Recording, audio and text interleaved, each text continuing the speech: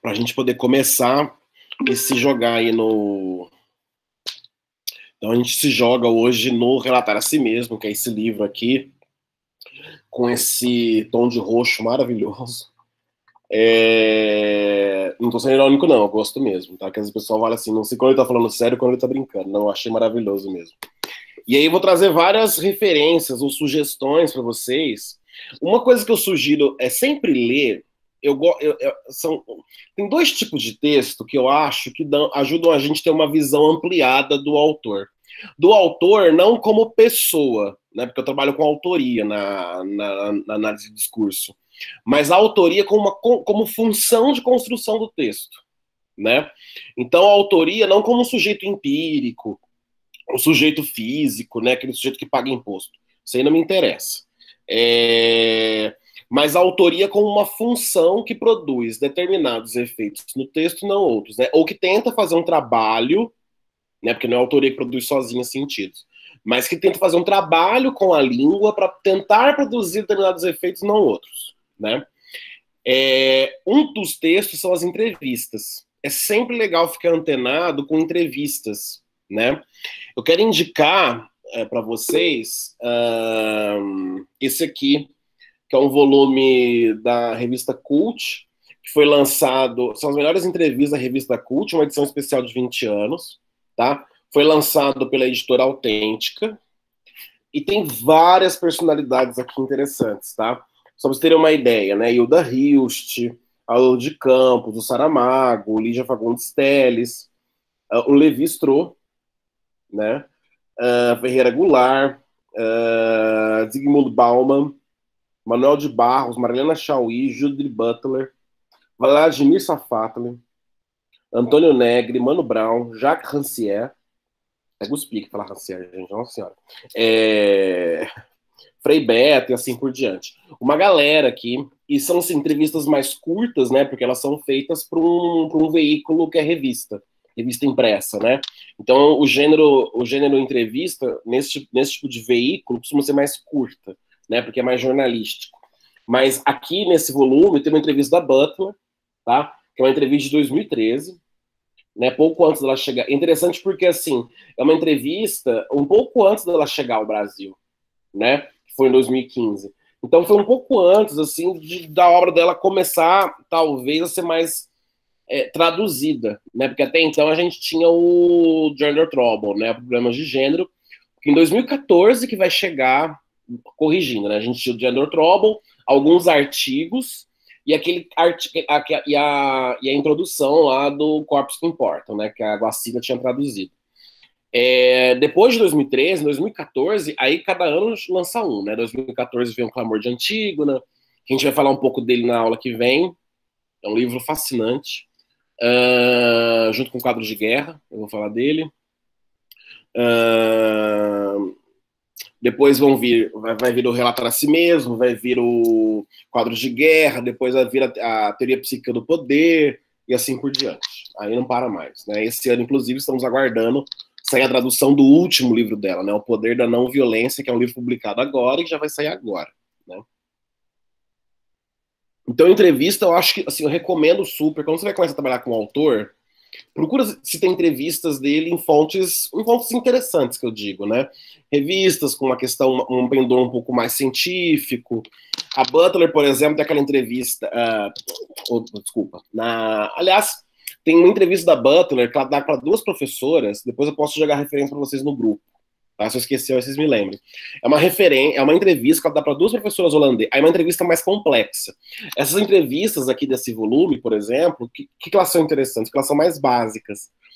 Elas são mais de introdução mesmo, sabe? São perguntas assim, é bem no, no, no mais básico, assim. Nunca ouvi falar dela, quero ter uma ideia do que ela fala.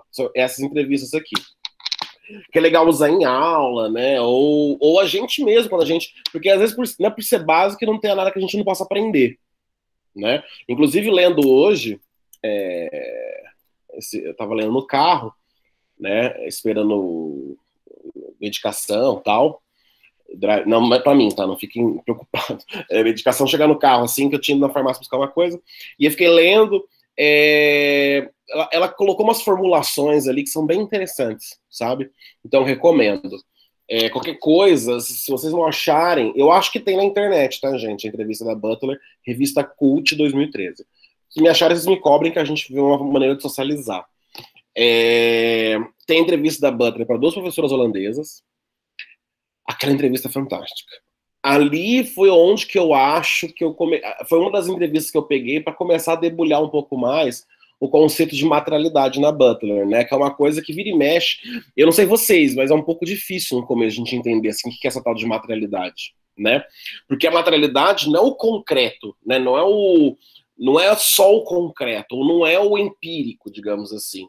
É a maneira como a gente percebe e significa esse elemento concreto, né? Como a gente falou bastante na última aula do Corpus que Importa, porque materialidade é um conceito fundamental, porque a Butler está respondendo a críticas do Gender Trouble, é, a materialidade, quer dizer, ninguém, ninguém é capaz de perceber o órgão sexual né, em si. Então a divisão binária não é por conta de pênis e vagina, é por conta de papéis que são construídos e que sobredeterminam a percepção da sexu do sexo. Trans o que faz, na verdade, que o sexo nunca compareça como sexo, mas como gênero, né, pra gente. É, então tem essa entrevista da Butler com duas, com as duas professoras da Holanda, me, me cobrem para poder passar para vocês a referência. É, mas é fácil de achar na internet. Se eu não me engano, saiu pelo Caderno de Estudos Feministas da UFSC, tá? E tem aquela entrevista que a gente falou semana passada, na aula passada, do, do Preciado fundamental também, né? Porque a, as, essas entrevistas em geral são feitas por pessoas assim que re, não são só um, um, não tô dizendo que isso é menos, tá, gente? Mas é uma pessoa que deve ter, que em geral passou um tempo da vida estudando a vida daquele autor, né? Para preparar as perguntas e tal. Um outro texto que eu aconselho, mas aí é para quem vai trabalhar, gosta de literatura e tal, é crônica, né? É impressionante como, assim, Nelson Rodrigues, depois eu fui ler as crônicas dele, a Cabra Vadia, não sei se vocês já leram, que é o volume das crônicas que ele escreveu para o jornal, acho que de 65 a 68, se eu não me engano. As crônicas da Hilda Hilst, tipo, jornais. As crônicas da Clarice, né? Inclusive, é, saiu o volume das crônicas, né? A Rocco publicou os contos completos, as crônicas completas, e esse ano vai ser uma coisa maravilhosa, que são as cartas completas da Clarice, né? São 100 anos de Clarice. Inclusive, vamos falar dela hoje. É, é como se no, na crônica, né, por ser um texto, como é que eu posso dizer? Um texto de um pendor mais informativo, até mais jornalístico, digamos assim, porque em geral, em, em geral circulam jornais, né, seja impressos, né, antes impressos, agora virtuais também. É como se ali o autor muitas vezes revelasse outras coisas do cotidiano, da escrita, de questões filosóficas, tá? Gente, só um minutinho para autorizar mais duas pessoas aqui. Deixa eu só colocar aqui os nomes, senão depois eu me, eu me embanando.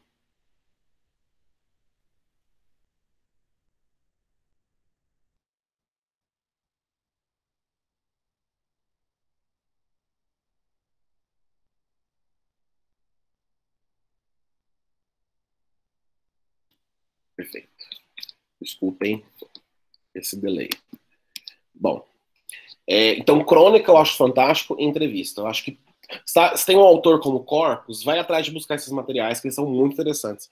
Até porque das entrevistas, eu acho que ali é um momento de elaboração que é diferente, sabe? Principalmente sem entrevista, porque hoje em dia se faz muita entrevista assim, é, já fizeram isso comigo. É, me mandaram por e-mail, eu respondi e devolvi, né? Uma entrevista que eu dei sobre luto. É, mas eu acho mais legal ainda quando a entrevista é feita ao vivo, no tete a tete, e depois alguém faz o trabalho de transcrever. Porque eu acho que é um outro trabalho de elaboração, é uma outra apreensão da formulação, sabe? Eu acho isso muito interessante para o nosso trabalho é, teórico, tá? Bom, sobre esse livro aqui, o Relatar a Si Mesmo. É, Continuo indicando esse aqui, que eu já falei dele semana passada, né, Leituras de Judy Butler, que é um livro com textos bem interessantes, né, de trazendo conceitos aí. É, tem um artigo ali, principalmente, que eu acho bem interessante, que eu falei dele na última aula, quando uma aluna perguntou sobre o conceito de simbólico na Butler e como que ela vai se degladiar ali, entre aspas, né? Não só ela, mas outras autoras com Lacan. É... Para falar, para a gente introduzir esse livro hoje, eu vou retomar alguma, um pouco da formação da Butler, para ficar um pouco mais claro. É, a Butler, ela faz a tese de doutorado dela, que é esse livro aqui, né? Que não tem em português, eu tenho a tradução em espanhol.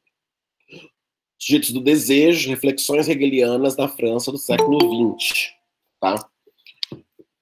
Só mais uma pessoa aqui.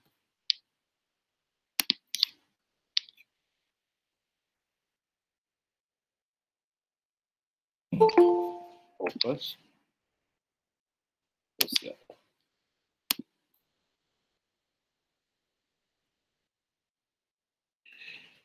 Uh, essa, essa. Uma vez eu perguntei é, para uma professora se eu devia ler esse livro, o que ela achava. Ela falava: olha, é um livro que vai exigir muito. Falei: bom, até aí nada que a gente não esteja acostumado, né, para ler Butler. Porque a questão de ler Butler é que, assim, ela, como outros autores, ela faz um trabalho da gente, ela exige da gente um trabalho que é o seguinte: ela faz a conexão com muitos autores, né, diferentes. Uh, e aí, é, se a gente não tem um pré-conhecimento desses autores, às vezes fica um pouco difícil localizar melhor o que ela está falando né? Não é que se eu não conheço nada de Foucault, não vou acompanhar a Butler. Se eu não conheço nada de Hegel, vou acompanhar a Butler. Mas eu, por exemplo, fui estudar Hegel por conta da Butler. Para recuperar o recorte que ela estava fazendo. Porque a gente tem que entender o seguinte: é aquilo que a gente estava falando em outros encontros. Quando ela menciona discurso, eu tenho que saber de que discurso que ela está falando. Né? Quando ela fala de interpelação, que interpelação é essa? Quando ela fala de simbólico, né? E aí o simbólico na Butler tanto é, remete ao, ao simbólico estruturalista, né? Do Lacan na sua fase estruturalista e do Levi-Strauss, né? Porque ela faz uma crítica severa às relações de parentesco que o Levi-Strauss apresenta, né? Que são ordens de parentesco baseada na questão do tabu, numa, na, na fundação de uma sociedade heteronormativa e assim por diante. Então a Butler, ela faz uma leitura, e eu já falei isso para vocês, né, nos outros encontros, do Hegel a partir de uma recepção francesa. Tanto que a gente vai ler nesse livro aqui, ela vai trazendo o Derrida, o Foucault, o Lacan, o Deleuze, tá? entre outros, porque antes desses autores, o Kojève, por exemplo, para falar só de um, né? Numa geração anterior a esses caras, né? O Kojève, o Hipólito, né? Eles vão reler o Hegel. O Hegel ele vai escrever a Fenomenologia do Espírito em 1806, não vou me lembrar agora. Lembrando que a gente tem uma tradução maravilhosa da Fenomenologia do Espírito em português, que ela foi retraduzida, né, era uma tradução que já era boa, e ela foi retraduzida linha por linha e cotejada com o alemão e com traduções francesas. Tá? É... Um século depois, mais de um século depois, um, vários autores né, universitários da França vão recuperar o Hegel e vão ler o Hegel. E esses caras que recuperam Hegel vão dar aula para uma geração que depois vai dar origem ao que muita gente vai chamar como pós-estruturalista, né? E eu escrevi um artigo sobre isso, inclusive eu disponibilizei para vocês no Drive, é, em que a gente tem que tomar um pouco de cuidado na hora de taxar e categorizar como pós-estruturalista, de maneira que isso atua como elemento limitador da teoria do cara, né? Por isso que eu falo a importância da Butler, né? Nessa, nessa entrevista, inclusive, a Butler fala porque que ela não não é uma, ela não se considera queer, né? Ela fala que ela não se incomoda de ser chamada de uma filósofa queer, mas porque ela não se considera, né? Porque ela escreve antes do, do queer, digamos assim. E por que que ela não, não se considera assim uma filósofa pós-estruturalista ou pós-feminista, né? Ela, ela fala que ela flerta com o pós-estruturalismo, né? Ela mesma fala que não se chama de uma escritora desconstrutivista, mas que ela é muito influenciada pelo Derrida. Por quê? Porque ela teve aula com o Derrida, ela teve aula com o Paul Deman, né? E ela foi, obviamente, influenciada, assim como todos nós somos, né? Bom, então esses, esses o Kojève, o Hipólito e tal, vão formar essa galera toda. Foucault, Lacan, é, é, Deleuze, Sartre, né? Todos fazendo uma leitura do, do Hegel. Então, a Butler, nessa tese de doutorado, é... o que, que ela faz? Ela faz um trabalho, é difícil, gente, porque assim, é, é, é bem denso. Mas o que não é, né, dela. Mas é muito. Eu achei, eu gostei muito. Porque assim, é, sabe quando você vai para um país, um, é, fazer um intercâmbio, no começo você não entende, aí você fica uma semana, duas, três, um mês, é como se estampasse, você começa a escutar melhor. É essa sensação que eu tive, sabe? Que eu estava escutando melhor algumas, algumas posições que ela estava trazendo ali. E a Butler, como eu disse para vocês, e tá lá naquele artigo da professora Carla Rodrigues, uh, ela nunca, em nenhum livro, ela se desvincula do Hegel. Né? Ao longo dos livros, ela vai trazendo filósofos diferentes para dialogar, mas do Hegel ela nunca se desvincula. Né? Então, hoje eu acho que é um momento, uma aula interessante, para a gente entender um pouco mais o que, ela está trazendo do Hegel. Né? E o que ela traz do Hegel são duas coisas fundamentais: a questão do reconhecimento e a questão do desejo. E tanto uma como outra, principalmente do desejo, o Hegel vai trazer na fenomenologia do espírito. Tá? É... Me perguntaram aí, no, a Giovana perguntou se eu li o Judith Butler e a Teoria Queer, né? É um livro da Sarah Sally, né? Olha, eu já li, mas é um livro assim. Não sei se já viram, um livro de capa cinza, né? Judith Butler e a Teoria Queer da Sarah Sally, né? É um livro que a gente tem que ler com muito cuidado, tá? É, é, um, é, uma, é uma. Muita gente lê e acha que tem, tem a impressão de que lê, entendeu a Butler, que leu e entendeu por ali. Só que é, o, o, problema desse livro é que assim ele simplifica demais e ele não traz algumas bases que são fundamentais, eu acho, para realmente fazer um trabalho de introdução a Butler, né? Por exemplo, ela não esclarece que é a questão do discurso, né? Essa questão do Hegel, da leitura hegeliana que a Butler faz. E tudo isso eu acho que antes de você falar de performatividade, de violência ética, de enquadramento, de vulnerabilidade, precariedade, que são essas palavras aí, que, são, que funcionam como conceitos na Butler, a gente tem que entender assim, tá, de que base filosófica ela está partindo. Você concorda que, assim, discurso, dependendo da base filosófica, da base epistemológica, vai variar pra caramba. Né? Então, eu acho que um trabalho de introdução sempre vem antes disso. Inclusive, eu cobro disso quando eu oriento o trabalho ou quando eu participo de banca. Eu acho que a primeira coisa que você faz, seja um TCC, uma dissertação de mestrado, uma tese de doutorado ou um artigo, você tem a obrigação de falar de onde está partindo para fazer aquele trabalho. E eu acho que, e, e ao meu ver, isso não é uma coisa que se traz no meio do trabalho. Eu acho que a porta de entrada de leitura é a primeira coisa que se analisa. Porque não é possível ler de uma porta universal. Porque daqui a pouco, no seu artigo, você vai começar a falar de categorias homem, mulher, gênero, enunciação. E isso flutua. Então, assim, eu acho que por uma, por uma, questão de organização, num texto como esse, a primeira coisa que a gente faz é delimitar o nosso posicionamento político teórico e epistemológico. E que é estético também, claro, né? Porque envolve a apreensão da realidade. Então, o livro da Sara Selle, eu li, tá até aqui o livro, eu li e fichei inteirinho. Eu acho que, inclusive, foi um, um dos primeiros livros que eu li é, e muita gente acaba lendo porque tem esse título, inclusive, né? Judith Butler, a teoria queer. Então, até pelo título, percebam, ela está tentando tirar algumas questões ali da Butler para uso da teoria queer. Só que eu acho que faltam as questões fundamentais que eu falei para vocês, né? Quais são as bases da Butler, falar um pouco mais sobre isso e assim por diante. Tá?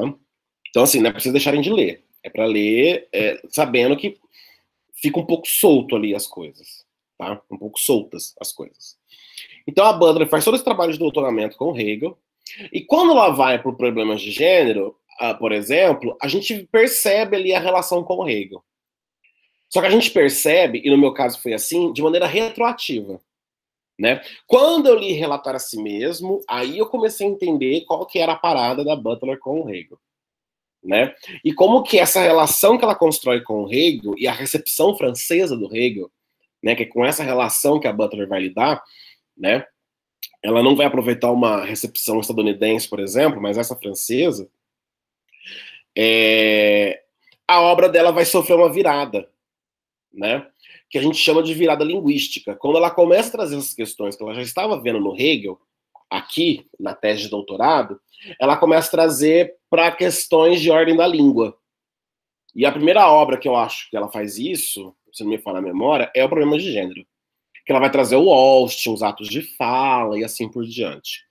A única coisa que eu, como crítico, acho que falta na Butler, e aí eu tento fazer isso no meu trabalho teórico, é um trabalho mais detido sobre o que, que ela está entendendo sobre o funcionamento da língua. Sabe? Porque quando ela traz o Austin, ela traz o Austin reformulado, relido, né? Então ela está trazendo esses autores para conversar, mas eu acho que falta às vezes esse trabalho né? Mas ela não faz, não porque ela não, não tenha condições, obviamente que ela tem, mas porque não é o foco dela, né? E eu, e eu para poder trazer a Butler para análise de, de linguagem, de manifestações de linguagem, especificamente da língua, né? Eu precisei fazer isso, né? Quer dizer, bom, como é que eu posso aproximar isso aí de uma teoria da língua, né? E a teoria da língua, que para mim se mostrou mais um diálogo mais produtivo e coerente coerente é a análise de discurso, né? É, especialmente a que eu trabalho hoje, que é a Pechetiana. Mas já fiz diálogos, a teoria da Butler com o Bakhtin, com o Mikhail Bakhtin. Só que aquela coisa, né, gente? Para aproximar a Butler do Bakhtin, a gente tem que tomar cuidado assim. Eles estão falando de sujeitos diferentes, né? O Bakhtin ele é um autor marxista, isso não pode ser esquecido de maneira nenhuma, né? O Bakhtin, o seu círculo, é, e o sujeito que está trazendo ali é um sujeito que não é atravessado pelo inconsciente, é um sujeito intencional, inclusive, na sua comunicação. Né? Quando a gente pega ali principalmente o marxismo e filosofia da linguagem, que é do Voloshinov, mas também no Estética da Criação Verbal, naquele capítulo do Gênesis do Discurso, o sujeito que comparece ali para o Bakhtin, para o círculo, é um sujeito que não é atravessado pelo inconsciente. Né? É um sujeito que dialoga com o outro e ao mesmo tempo que ele afeta o outro, ele é afetado por esse outro, né? É... Mas ali é uma pegada mais é, de um sujeito intencional, né? Social, marcado por classes e tal. Inclusive a percepção de classe social do Bakhtin é diferente da percepção de classe social do Peixe, tá? Que a gente pode depois fazer, a gente pode fazer uma aula extra, se vocês tiverem interesse de me ouvir falar sobre isso. Mas se alguém tiver interesse nessa aproximação da Butler com teorias da língua, é, tem os artigos que eu postei lá no Drive, né? Alguns que eu publiquei na Periódicos, alguns eu publiquei em livro, tá? Mas eu disponibilizei para vocês lá no, no Drive. Bom, então, é, é essa noção que eu acho que é importante ter né, que a Butler já vem nesse trabalho desde o doutorado com o Hegel, principalmente a questão do desejo, né, que inclusive está no, no título da tese, né, do, que virou livro, Sujeitos do Desejo, que dizem as más línguas que era para ter saído ano passado em português, mas pela autêntica, mas até agora não temos notícia. Aliás, essa semana eu escrevi para autêntica perguntar. É bom que eu já mando o e-mail quando terminar a aula. Ou se alguém lembrar aí, manda e-mail para autêntica cobrando. É, porque eu acho um livro importante para a gente entender esse desenvolvimento do pensamento da Butler. E, como eu disse, o trabalho dela sofre várias viradas. Uma delas é a virada linguística. Quando a Butler vai fazer essas teorias sobre o sujeito e o desejo, se encontrarem com teorias da língua. E aí ela vai elaborando a performatividade, as questões do enquadramento, né, e assim por diante. Até já chama, perguntaram, é sujeito do desejo, é, inclusive já responderam. Eu não sei se a gente encontra inteiro na internet. Eu acho que encontra. Eu nunca procurei um texto da Butler assim na internet que eu não tenho encontrado, tá? E a gente chega nesse livro, o Relatar a Si Mesmo, com esse subtítulo Crítica da Violência Ética, com uma palavra super perigosa, que é a palavra ética, né? Porque a palavra ética, no nosso, nos nossos deslizamentos sociais, ela vai ganhar várias colorações, ela vai ganhar várias transpirações de significação. Mas a ética, a gente pode dizer que no senso comum, é, ética está associada a um valor positivo, concorda? Ah, você, você precisa ser ético, é importante ter ética, né? Quando a gente fala de ética, em geral, no senso comum, a gente está se referindo a uma valoração positiva e de um dever ser, né? Como a gente deve ser em relação ao próximo, de, de impor limites ao nosso, ao nosso comportamento, ao nosso desejo. E a Butler, ela vai partir daí, eu acredito, né? No seguinte sentido: se a ética tem esse valor positivo. Ou se ela só pode ser, né, ou se ela só pode ser entendida por essa perspectiva positiva. E aí a professora Carla Rodrigues, ela lança uma, uma formulação que eu acho muito interessante, que nesse livro, Relatar a Si Mesmo, é como se a Butler lançasse, assim, para, a gente está parafraseando, claro. A quem pertence uma vida para poder julgar a ética? A quem pertencem as vidas? Para a gente poder falar sobre os deveres de, ser, de sermos éticos. Porque a ética está ligada com uma, uma questão política fundamental, que é a questão do reconhecimento. Quem reconhece quem é ético? E os que não são reconhecidos como éticos são o quê? Não são sujeitos? Né? E a ética ela é avaliada em relação a quais questões, quais valores, quais construções sociais. Né? E a ética, claro, também se realiza, se, se concatena com a questão do desejo, né? Dos limites para o desejo, para os limites, do que eu quero fazer, os limites sobre o outro. Eu até brinco, os limites sobre e sob o outro né?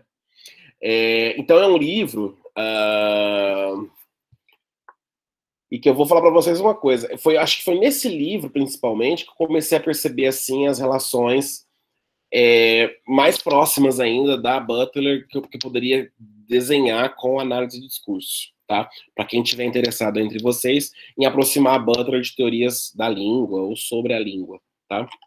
Eu tô conversando com vocês aqui, vou tomando um café. Na verdade, eu tô com saudade do, da erva mate lá do sul. Se alguém estiver no sul e quiser mandar de presente uma boa erva mate, pode mandar, viu? Tô aceitando. É, ah, aliás, tem que eu sei, gente aí do sul com boas ervas mates, tá? Ah, Ivânia, então manda, Ivânia, vou te cobrar, viu? Sabe que eu vou até o inferno com a sua carniça quando me cobra, como fala que vai me dar as coisas, hein? É... É, mas esses dias que ficam um pouquinho mais frios. Bom, só para a gente não, não, não, não, perder o fio. É, e eu, particularmente, assim, eu, todo mundo fala do Gender Trouble, né, do, do Corpos que Importam. Eu tenho um carinho muito grande para esse livro. O Relatar a Si Mesmo. Como eu falei para vocês, a gente fala de viradas da Butler, eu vou falar de viradas jacobianas ou jacobinas. Esse livro aqui, para mim, é uma virada no entendimento. Por isso que eu dou, eu dou muito valor e uso bastante esse livro para construir as minhas reflexões sobre, sobre com a Butler, tá?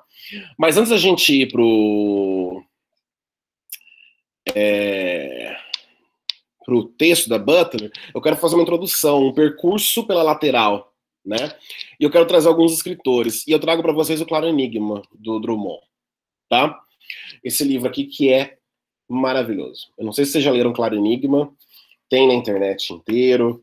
Essa edição aqui, é acho que é a última edição que a Companhia das Letras fez, é uma edição linda, né? Ela relançou, acho que, os livros do Drummond com novos projetos gráficos, né, artísticos para capa, e tem as fotos, né, de família e fotos das primeiras edições. Esse livro Claro Enigma, ele é muito importante. Alguns autores, uh, alguns pesquisadores dizem que esse aqui é o livro mais importante de poesia do século XX, tá? Agora, é claro, é eu estava conversando, inclusive, com, com alguém hoje, não sei se foi com o João, é, que a gente deu uma aula hoje sobre esse livro. É, eu, como a gente fala que é um livro, um dos livros mais importantes do Brasil, é, da poesia brasileira do século XX, inclusive não só da poesia do século XX, porque é um livro que dialoga bastante com teorias estéticas é, pré e, e, e, depois das vanguardas europeias.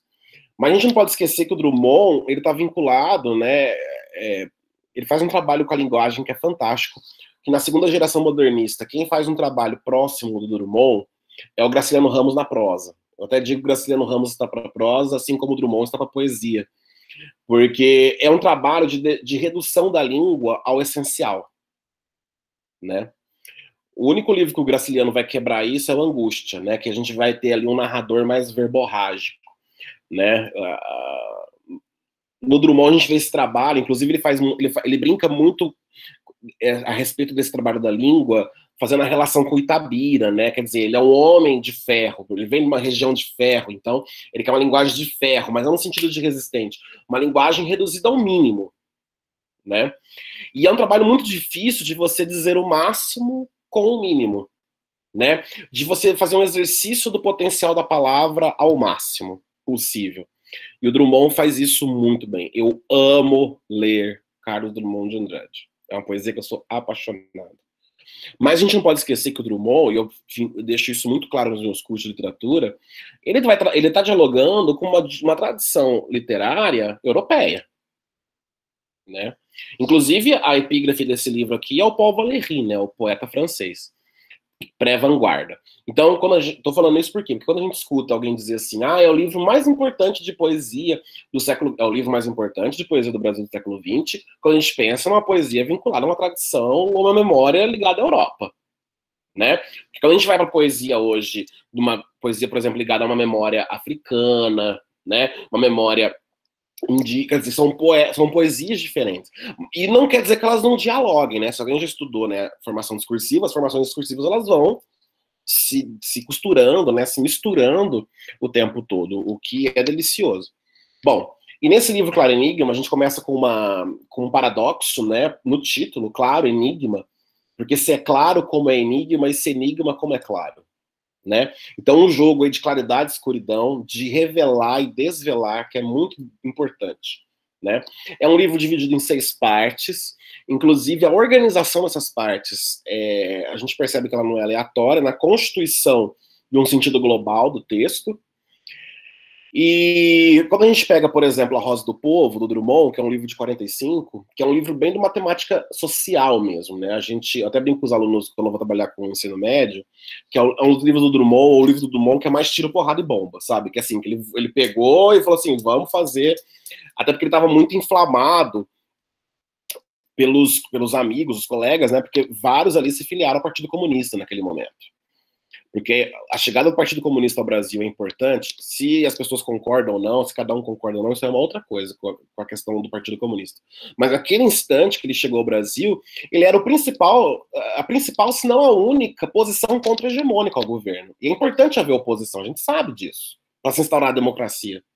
Né? E vários dos colegas, os amigos, os escritores ali vão se vincular ao Partido Comunista, Graciliano, Jorge Amado, Zé Gattai, né, a Raquel de Queiroz, assim por diante. Inclusive, alguns deles, como o Graciliano, vai ser preso. A gente sabe que o Graciliano ficou preso é, por tempos e nunca foi feita uma acusação formal contra o Graciliano. Ou seja, ele nunca pôde se defender. E, quem, e a gente sabe que o, a Convenção de Genebra, a primeira coisa que ela estabelece é que todo prisioneiro tem o direito de saber a acusação que lhe é imputada para poder se defender né? E na cadeia, eu fico super emocionado, falei disso hoje à tarde e fico emocionado agora de novo. Na cadeia, o Graciliano publicou Angústia estando preso. E estava preso na mesma cadeia que estava Olga Benário, por exemplo. E eles fizeram uma festinha de lançamento ali, né? Quando o livro foi, Angústia foi lançado. E ali que ele escreveu Memórias do Cárcere, enfim. E nesse livro, o Drummond, ele é um livro de 51, então são seis anos depois do, do, do tiro, porrada e bomba do, do Rosa do Povo. É, ele traz uma pegada intimista, né? É, é como se, entre aspas, a gente dissesse assim, um Drummond mais maduro, que traz eu líricos uma, uma outra posição de enunciação, que estão olhando para essas questões da guerra, da destruição, porque 51, né, já acabou a Segunda Guerra, já se começou a ONU, e a gente já está mergulhado na Guerra Fria. Então, aquela sensação de que a gente aprende na história, que a, na escola, que a história é uma linha, e que ela anda para frente. Né? Vem um acontecimento depois do outro, acontecimento depois do outro, mas perceba, Primeira Guerra. Ah, a galera aprendeu, né? Pum, Segunda Guerra. Não, agora a galera aprendeu. Pum, Guerra Fria. Quer dizer, aquela sensação de que a história não anda para frente, a história é uma eterna repetição. E pior, né? Não é que a história é uma eterna repetição, os nossos dias são uma repetição. A gente coloca marcas nos nossos dias, mas na verdade, de repente se passam 10 anos, 20 anos e os nossos dias foram exatamente as mesmas coisas. Né? E o que, que foi feito? Então, são essas posições de olhar sobre a vida, que alguns chamam de pessimista, mas no, o Claro Enigma não chega a ser um pessimismo, mas é uma posição de maturidade, digamos assim, de quem olha e fala assim: bom, o que, que a gente aprendeu? Né? Então, são líricos que olham, inclusive para essas questões todas sociais, é, é, é, uma crítica social diferente, é uma, uma crítica social por dentro né? É, que eu acho que é algo interessante que o Pepe Tela faz no Mayombe, né, aquele livro fantástico, porque no Mayombe, por mais que o Pepe, Tela né, traga um narrador onisciente que vai contando todas as questões da, da guerrilha, ele traz, os, ele convoca os personagens a se tornarem narradores, né, eles vão dividindo a voz narrativa. E todos eles trazem a questão da guerra da sua perspectiva. E justamente isso como uma, uma possibilidade de se reduzir a precariedade, né, de, não, de não se fazer a, a voz individual morrer e não se fazer só permanecer uma voz individual que fala por todos, uma voz universal que fala por todos, o que é sempre uma falácia, porque não tem voz universal. Né? Ainda mais na guerra. E eu quero trazer para vocês, acho que são dois poemas que coloquei do Drummond, para a gente entrar no clima aí do, do relatar a si mesmo, tá? Vocês não entraram ainda, aqui como quase chorando, falando graciliano, agora vocês vão entrar. Então se prepara. É, esse poema Amar, né? Eu não coloquei o vídeo aqui, né? Porque, é, mas porque senão o YouTube depois, quando subir, a gente subir o vídeo, vai derrubar por direitos autorais. Mas depois vocês entrem e procurem o Amar com a Marília Pera declamando. Tá? Pra gente aprender o que é declamação de poesia. Amar. Que pode uma criatura, se não, entre criaturas, amar? Amar e esquecer, amar e mal amar, amar, desamar, amar sempre e até de olhos vidrados. Amar? Que pode, pergunto, o ser amoroso sozinho, em rotação universal, se não rodar também e amar? Amar o que o mar traz à praia, o que ele sepulta, e o que na brisa marinha é sal ou precisão de amor ou simplesância. Amar solenemente as palmas do deserto, o que entrega ou adoração expectante, e amar o inóspito, o cru, o vaso sem flor, um chão de ferro, e o peito inerte, e a rua vista em sonho, e uma ave de rapina. Este o nosso destino, amar sem conta, distribuindo pelas coisas, distribuído pelas coisas pérfidas ou nulas, doação ilimitada, uma completa ingratidão. E na concha vazia do amor, a procura medrosa, paciente, de mais e mais amor. Amar, a nossa falta mesmo de amor, e na secura nossa, amar a água implícita e o beijo tácito e a sede infinita. Né? E é muito bonito porque vocês percebem que ele vai alterando a voz, né? Tem hora que ele traz um nós, tem hora que ele traz uma terceira pessoa. Então, são, é, são, é mais de um enunciador, né? Trazendo essas posições. Não há uma única posição do sujeito dentro. E ao mesmo tempo, o significante amar ele vai deslizando, ele vai sendo decomposto e recomposto. Amar, desamar, malamar. Então, com essa brincadeira com o significante de juntar e de separar, é... é numa paráfrase bem mal feita, é como se ele dissesse: bom, é fácil amar a parte boa. E ele fala: é, é preciso amar até a nossa falta de amor, né? E é muito bonito lá no final, gente. É, para mim é um dos auges, né? Amar a nossa falta mesmo de amor e na secura nossa, amar a água implícita. Ou seja, na sede você não pode deixar de amar a água. Porque a água é a motivação da sede, inclusive. Então, na falta de amor, não se pode deixar de amar o amor. Né? Porque ele é o fundamento do desejo. Então a gente percebe aí enunciadores que estão se deslocando, que estão é, se desloca. Perceba como que eles vão deslizando nas definições de amor. Se a gente pegar verso a verso, o que a gente encontra nesses versos são paráfrases para tentar definir o que é amor. Né? Mas o que a gente tem nesse poema é um eu, um eu que não é um eu fechado, um eu cindido. É um eu que vai deslizando junto nos deslizamentos do, do que é amor.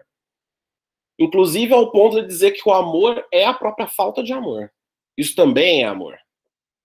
Né? Amor não é algo que se constrói é, numa ideia de presença somente. Né? Então, o que eu queria chamar a atenção da minha leitura sobre esse poema é essa questão do significante que vai sendo desmanchada, e não é só o significante que vai sendo desmanchado e recomposto. Os sujeitos eles vão se desmanchando, comparece outro, volta outro, eles vão se alternando para compor um único todo. Ora, essa voz comparece, né? Que pode uma criatura, se não entre criaturas, amar. E lá no final ele traz a primeira pessoa do plural, né? Amar a nossa falta. Então é um enunciador que ora não se coloca, ora ele se mistura. Ora ele não se coloca, ora ele não se mistura. Né? Então há mais de uma voz, há mais de um enunciador. Né? Então, para mostrar que, para falar desse objeto, primeiro que ele escapa. Né? E ele, se, ele aparece. E é muito bonito, inclusive, o plano sonoro, né, gente? É um poema que a gente tem que falar assim, muito cuidado às sílabas. Inclusive, a gente não perdeu o aspecto sonoro da literação do S né? A, a, repetição do S é muito forte. Ainda mais quando ele fala da praia ali, né? Uh, amar o que o amar traz, traz a praia, o que ele sepulta e o que na brisa marinha é sal ou precisão do amor ou simples ânsia. Né? Esse S que vai ecoando, que vai ecoando, essa marca significante que não, que, que não cansa de insistir ali né? Como essa referência aí, essa, essa possível referência, até uma, uma sonorização desse mar, né? Então, estou trazendo para vocês o, o Amar e vou trazer também mais um do, do Claro Enigma, que é esse aqui, Há um Varão que Acaba de Nascer. Né? Ele já declara aí no título que ele está de dedicando a algum, a algum bebê que acabou de chegar, né, que ele chama de varão,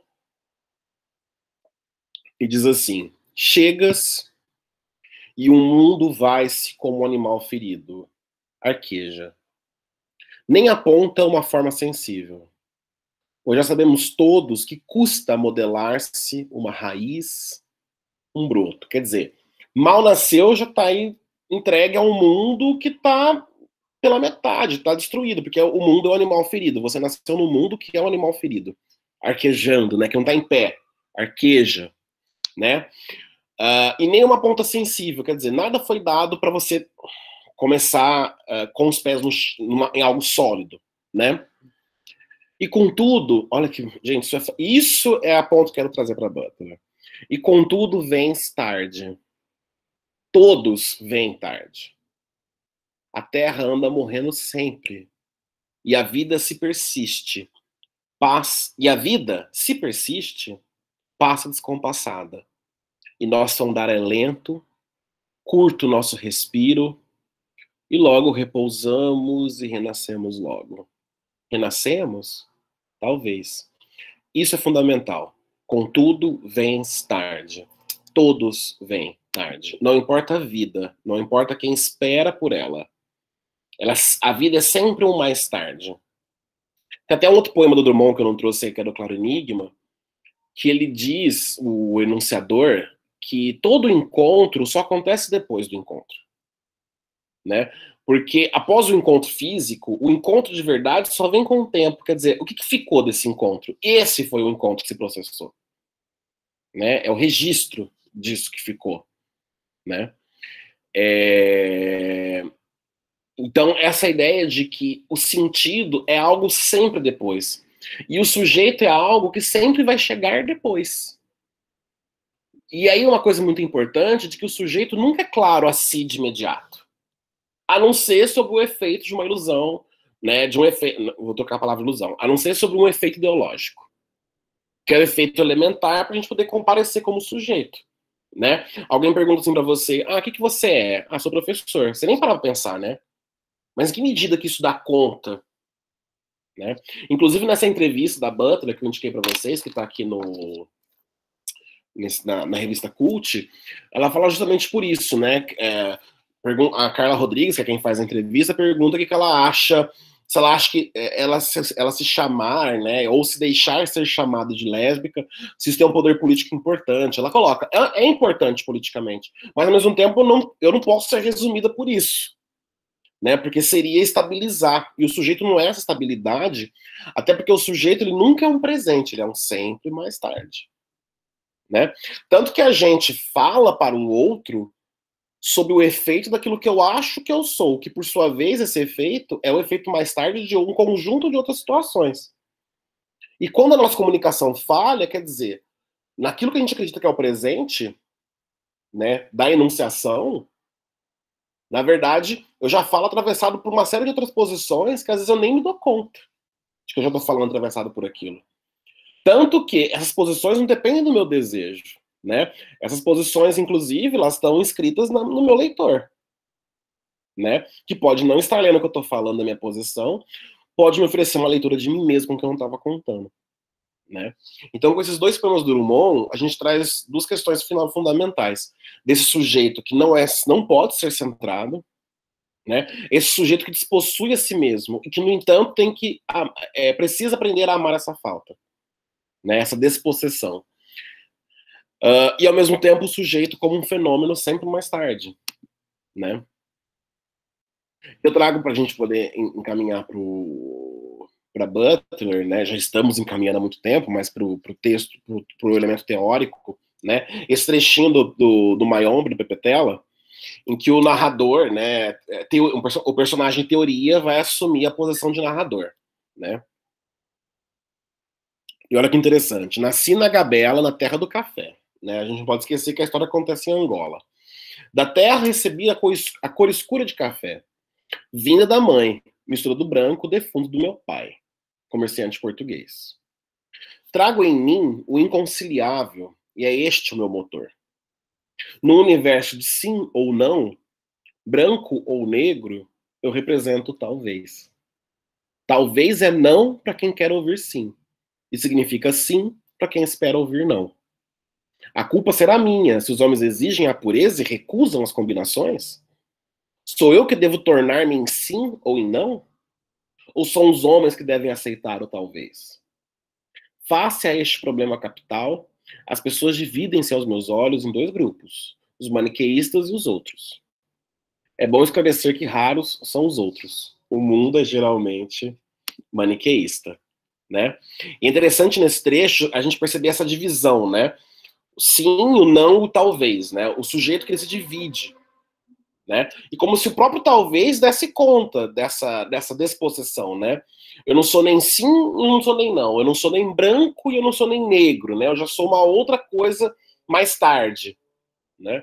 E ao mesmo tempo, eu não sei se, fica claro para vocês aí, quero chamar atenção para o seguinte: olha como isso comparece na língua, né?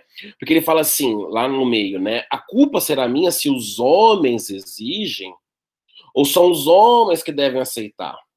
Ou seja, esse enunciador não se coloca como homem, porque os homens são os outros, aqueles que, que aqueles que querem uma coisa ou outra, que são maniqueístas.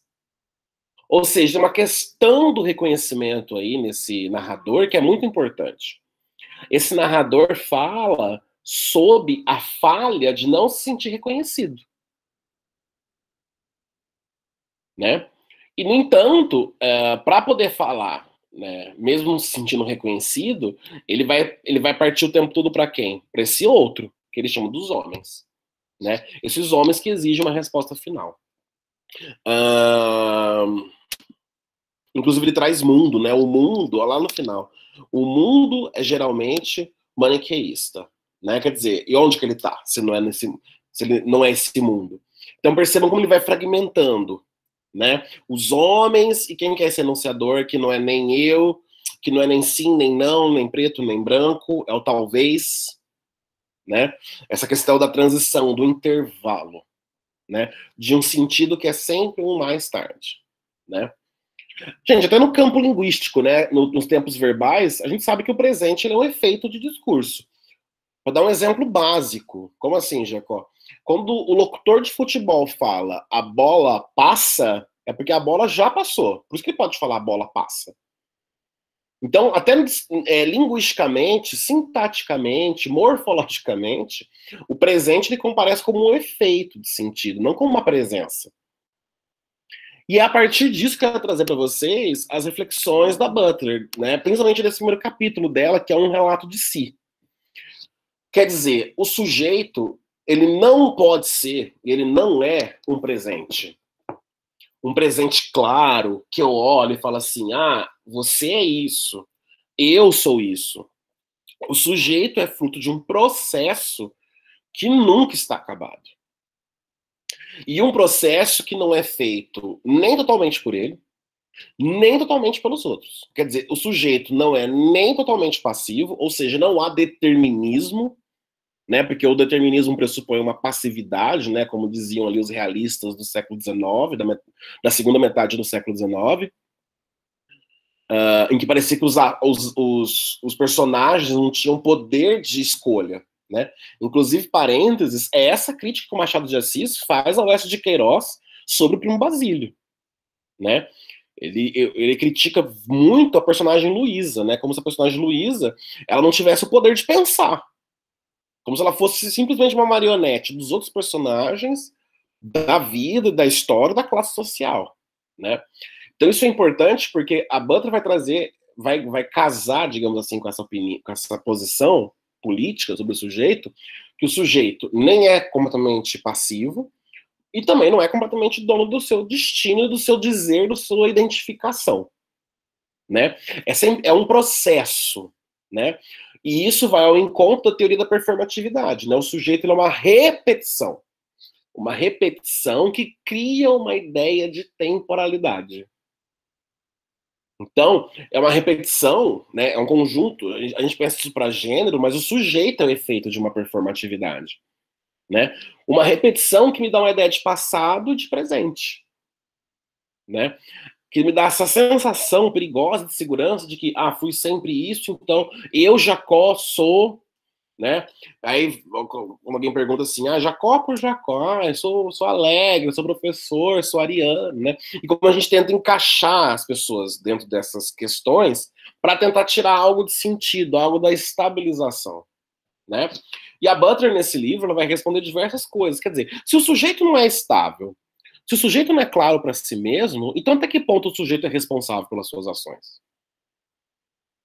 Porque são questões que ela já antecipa. Quer dizer, será que dizer que o sujeito é despossuído de si mesmo não é uma brecha para se questionar, por exemplo, um sujeito, um sujeito então pode ser julgado? Né? E aí a Butler vai colocar para a gente uma questão fundamental. É claro que um sujeito pode ser julgado, um sujeito ele é responsável, mas a primeira coisa que a gente tem que fazer é pensar que estratégias de poder tornaram e tornam esse sujeito possível mas não para desresponsabilizá-lo, mas para aprofundar o processo de compreensão do sujeito, né? Que a gente vai encontrar aí na Butler, né? E aí ela vai questionar exatamente que, que é, a ética vai retirar a ética desse campo que a lê numa perspectiva puramente positivada, né? Como se a ética fosse aquilo que positiva a existência, né? Quando digam, dizem assim, nossa, fulano é muito ético, como se aquilo me, me chancelasse como sujeito. Eu sou sujeito com garantia de qualidade, né? Sou sujeito com carimbinho do Imetro. Eu sou sujeito ético, né? E aí cabe repensar, então eu acho que é uma, é uma obra, né?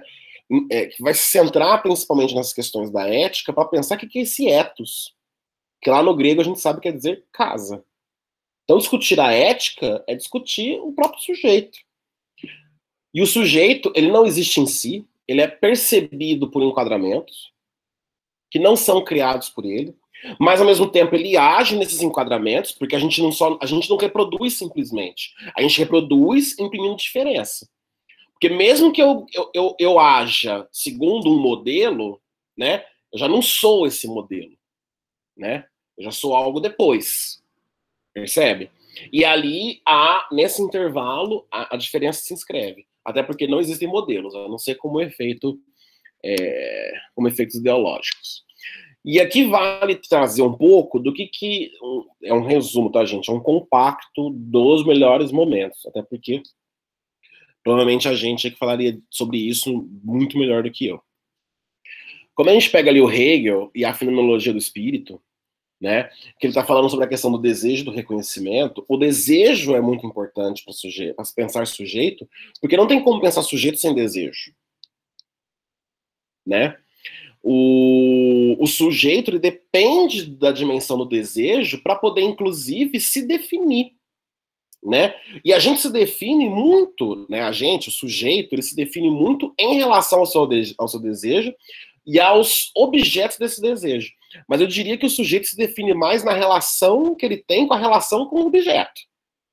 Né? Como eu não me defino com relação ao que eu desejo, mas como que eu valoro, que valor que eu dou para essa relação? Como que eu assinto, como que eu a interpreto, como que eu trago para a ordem da performatividade cotidiana, daquela vida banal, digamos assim, daquela vida que se repete né? Então o desejo é, uma, é algo de uma ordem fundamental para que haja uma possibilidade, ainda que provisória, qualquer que seja, de encontro com a alteridade, né? No entanto, nem o sujeito é completamente fechado e nem o outro é completamente fixo. E o Hegel vai colocar algo mais avassalador ainda, né? O Hegel vai colocar para gente que na verdade a gente não deseja o outro, seja lá o que seja esse outro. A gente deseja a incompletude do outro. Né? Ou seja, o desejo já é da ordem de uma falta. Né? E, o e o Hegel coloca isso de maneira taxativa. A falta é muito importante para o sujeito comparecer. Né? Por isso desejamos, por conta da ordem da falta, né? Só que nós não nos relacionamos com o outro para sermos completados. A não ser como efeito imaginário, obviamente. Mas na verdade a gente se relaciona com o outro para aprender a ser um ser em falta. Entre outras palavras. Né? O, que se, o que se relaciona, inclusive, bastante com aquela dialética do senhor do escravo. Quer dizer, a gente nunca se vê livre disso. Dessa relação de incompletude dessa relação de sempre faltar. E a gente pode falar, inclusive, que o Lacan, e o Lacan, nisso é, é muito hegeliano, acredito, quando ele vai trazer a questão da angústia, do objeto A, quer dizer, o sujeito, uh, quando a falta corre o risco de faltar, o que, que a gente sente? Né? Aquilo que o Lacan fala que é o único, sentimento, único afeto que não engana, angústia. Porque a falta vir a faltar é o próprio sujeito desmoronar. O que, sou eu se não um sujeito que deseja? Vocês não estão aqui vinculados por um desejo? Ou por vários desejos? E o desejo comparece pra gente de uma maneira tão clara, né? E é aquilo que o Drummond fala, tá? É, tá acontecendo várias coisas aqui que eu só vou me dar conta mais tarde, né? Com todo um processamento de língua, linguagem significação aí. É... E a posição de vocês, digamos assim, como alunos, e a minha como professor, já perceberam que isso se estabelece num cruzamento dessas redes de desejo. Né?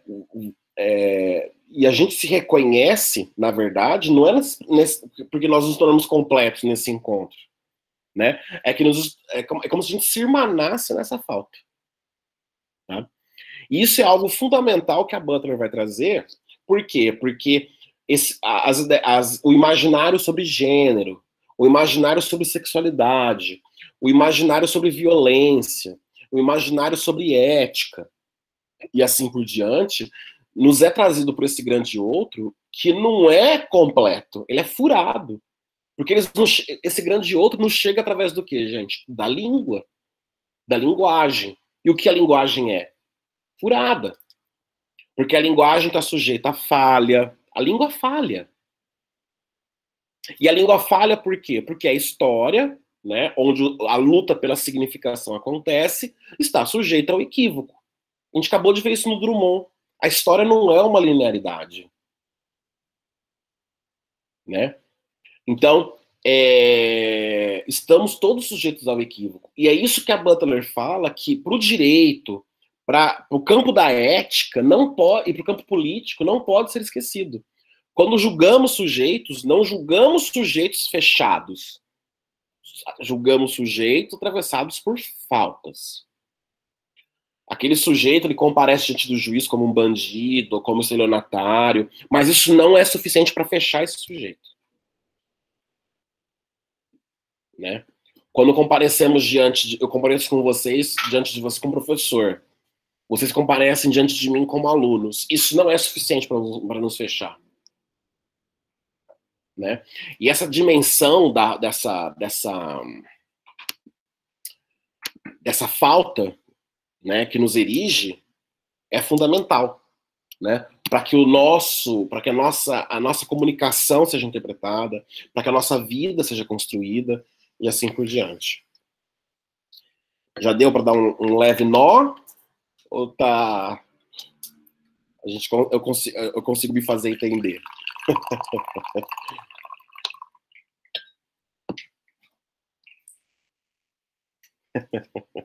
Bom, vamos lá para os pros, pros, pros, pros, questões. Isso aqui tudo são anotações, né, que eu estou trazendo do texto da Butler.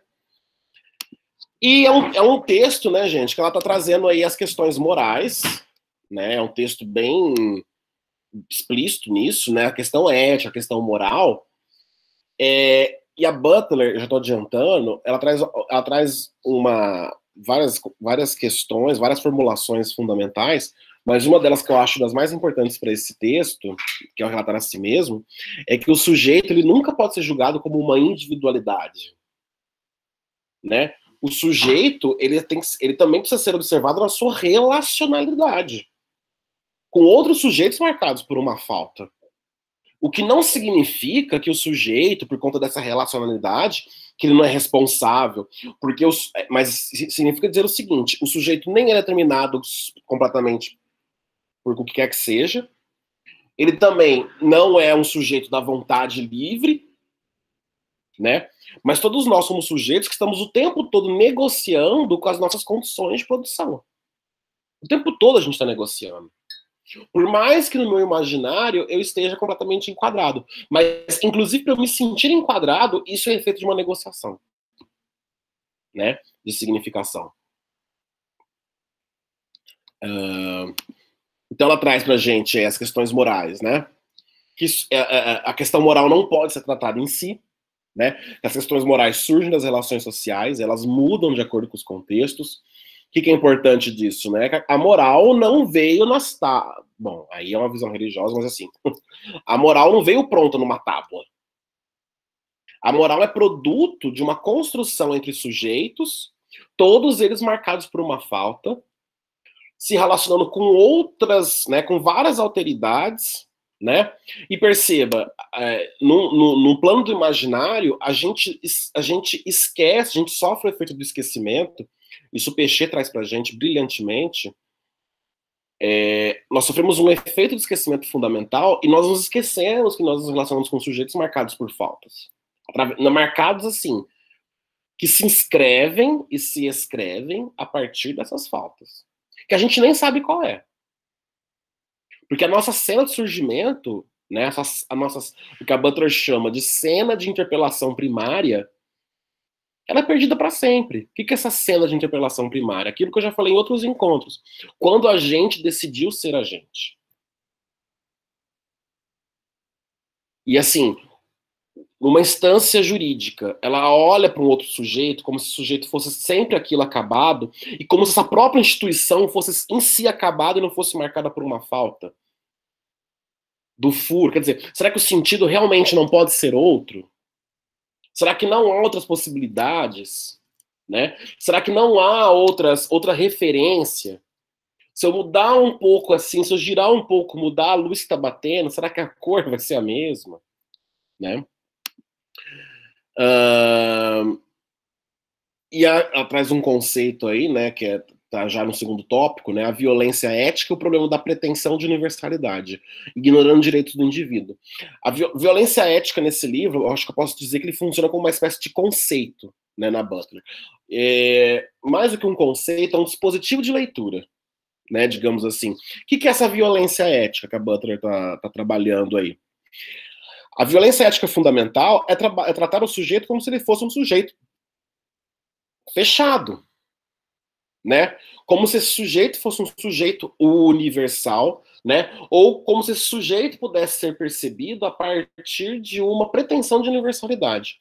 E hoje mesmo, sem querer, eu dei um exemplo disso, né? Dessa questão da universalidade. Quando alguém vira e fala assim: ah, esse livro do Drummond é o livro mais importante da poesia brasileira do século XX. Percebe a ideia de universalidade? Isso é uma violência ética, tanto com a poesia dele, quanto com as outras. Porque, assim, essa poesia se vincula a quais recortes de memória?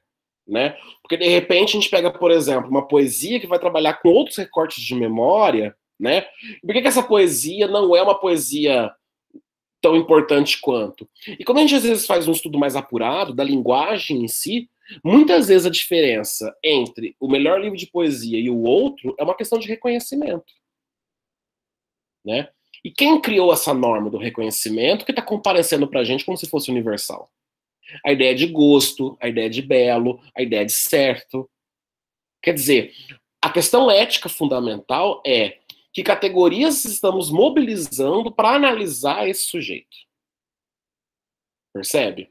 Tô indo pronto, né? Para dar mais um exemplo, eu estava conversando com uma amiga minha essa semana, eu estava dando umas sugestões assim, de um texto que a gente está escrevendo juntos, e aí eu fiz umas sugestões assim, porque na, na, porque os, o papel do homem, papéis de homem, papel da mulher, e assim, a gente tem que tomar cuidado, porque quando eu estou falando de homem e mulher numa, numa situação, eu estou falando de um homem e de mulher naquela situação. Eu, não posso, é, eu, eu acho que a gente não pode enunciar assim, ao homem, à mulher, porque ao enunciar dessa maneira, eu já estou trazendo a marca da universalidade por um dizer que não é universal e para uma e para uma e para um efeito que não é universal, percebe? Quando você falou dessa mulher aí, você está falando de qual mulher ali? Você está falando de qual homem? E muitas vezes, sem levar isso em conta, a gente às vezes acaba cometendo a violência ética, sendo que, a gente, sendo que às vezes a gente está escrevendo um texto que também critica formas de violência. E, no entanto, não se atenta a isso na maneira de nomear. Por exemplo. Né? É, eu estava conversando com uma amiga minha essa semana, que ela trouxe uma questão aí super fundamental, né?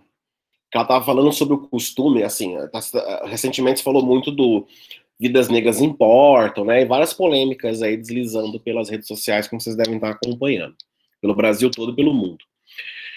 E aí ela falou assim, eu tô cansada, e ela, ela é bem militante, assim, do, de movimento, de um, de um de movimento negro, né? Ela, ela uma, de uma de uma militância ali que ela elabora, né? Que não existe o movimento negro homogêneo, isso também é uma violência ética, né? Os movimentos.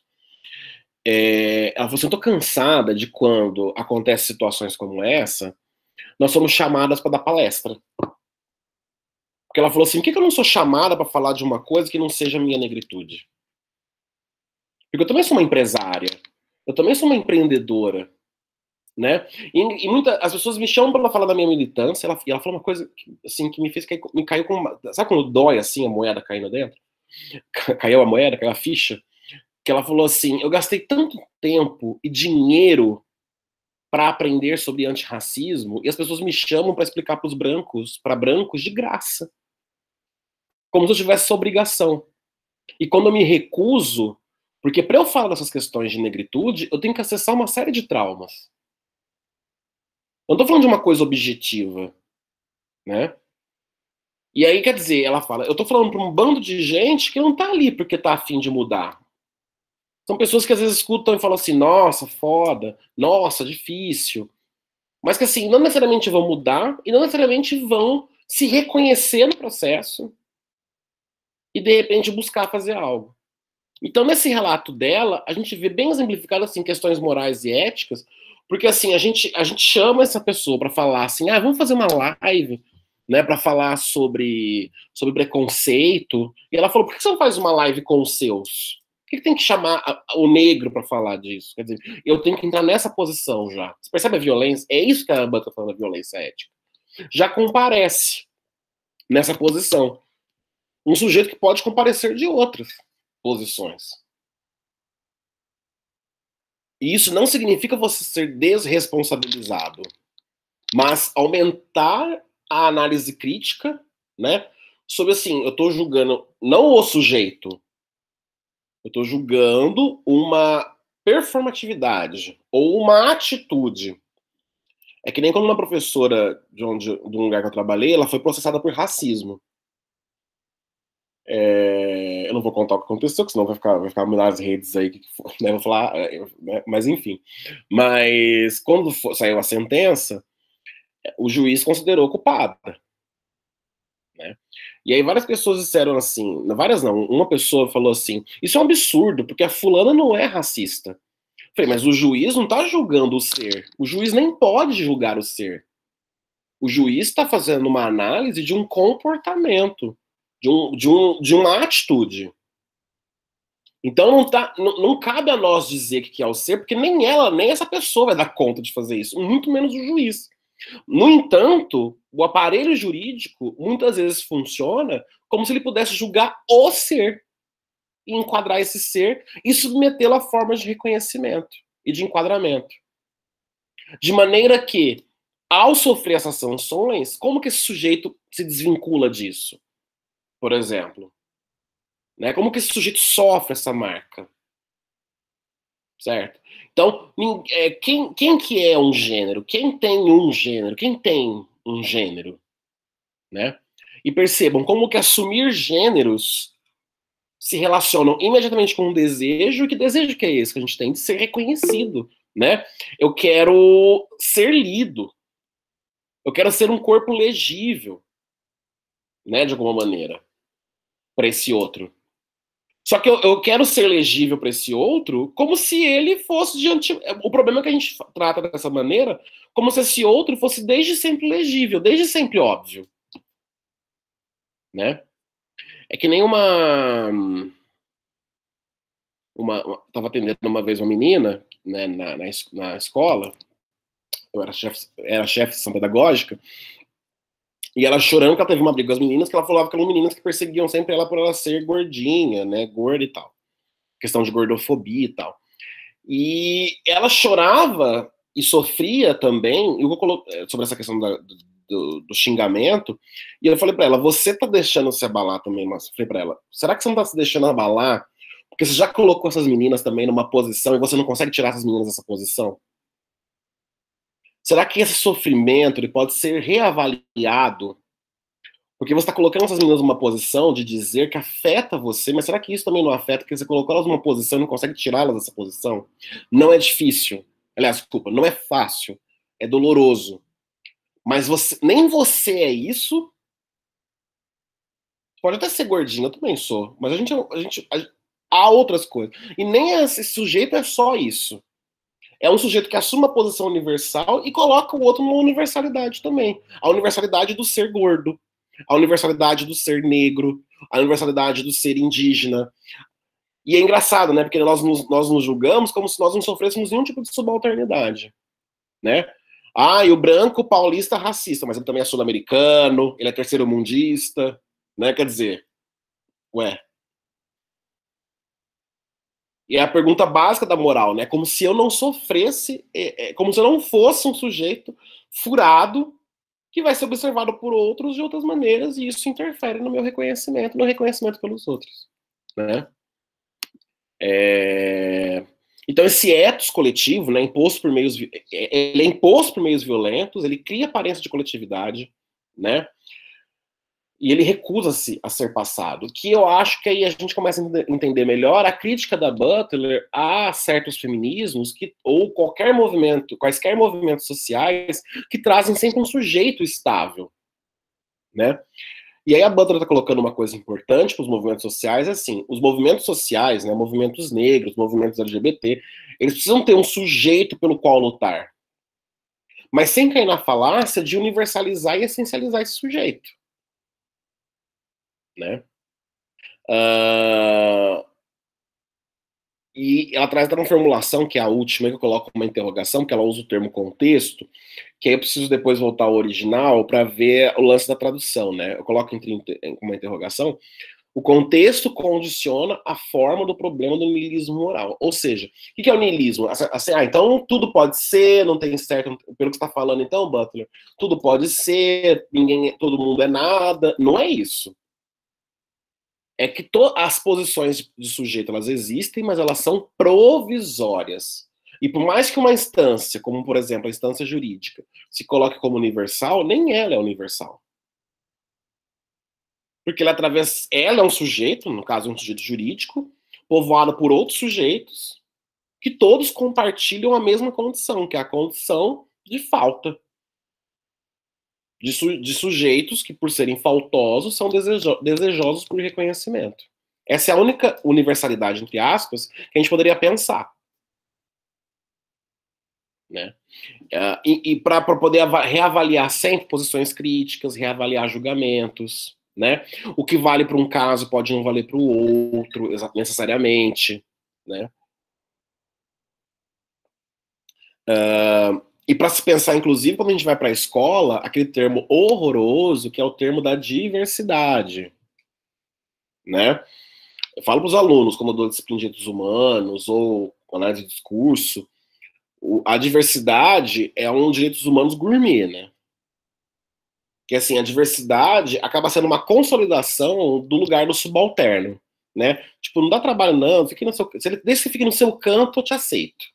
Eu te to, a palavra, outra palavra horrível, tolero. Como o sujeito que tolera não precisasse ser tolerado por outra instância, não fosse atravessado por uma falta, né? Uh que há uma coisa também para poder se pensar. Enquanto a diferença ela instaura uma outra ordem, né? A diferença instaura uma ordem porque assim uh, temos essa questão da falta, mas faltas que são processadas diferentemente e não só de um sujeito para outro, mas de momentos assim para outros e é uma falta. Nossa, as nossas faltas só podem ser processadas relacionalmente, sempre em relação ao outro que por sua vez também ele só oferece a completude como uma ilusão, né? Como um efeito imaginário, digamos assim. Tá. Ah, eu coloquei contexto ali entre, entre aspas e com interrogação, porque eu particularmente não gosto dessa palavra, porque contexto é que nem quando o professor de literatura fala, o professor de literatura fala assim, ah, vamos analisar o contexto, o contexto dessa obra. Não dá para você recuperar o contexto, concorda? que assim, ah, vamos analisar o contexto em que o Claro Enigma foi escrito. Não dá para você recuperar esse contexto. Você pode recuperar as condições, o que é algo maior, né? E como essa obra afetou os dizeres, né? Como essa obra afeta os dizeres. Todo dizer afeta a ordem da história, né? É... Isso, é... desde o dizer mais banal, gente, é, desde o dizer mais banal afeta a história, porque dizer A é não dizer B, nem C, nem D, nem E. Quer dizer, quantos destinos eu deixei, de conhecer por falar uma coisa e não falar outra? E a gente nunca vai saber, porque essas, essa, essa, esse momento de interpelação em que eu escolhi falar aquilo, né, é perdido para sempre. Uh, o problema da universalidade não constitui problema em si, mas se torna terreno de disputa. Né? Ou seja, a universalidade em si não é uma questão. Porque uma questão é que a universalidade acaba se tornando um, um campo para se disputar reconhecimento e poder. Né? Por isso que a Butler coloca aí no segundo tópico a necessidade de o um indivíduo se apropriar da moral. Ou seja, a gente não, não, lidar com a moral como algo fora do sujeito. Né? Mas como que o sujeito ele pode atuar na constituição dessa moral.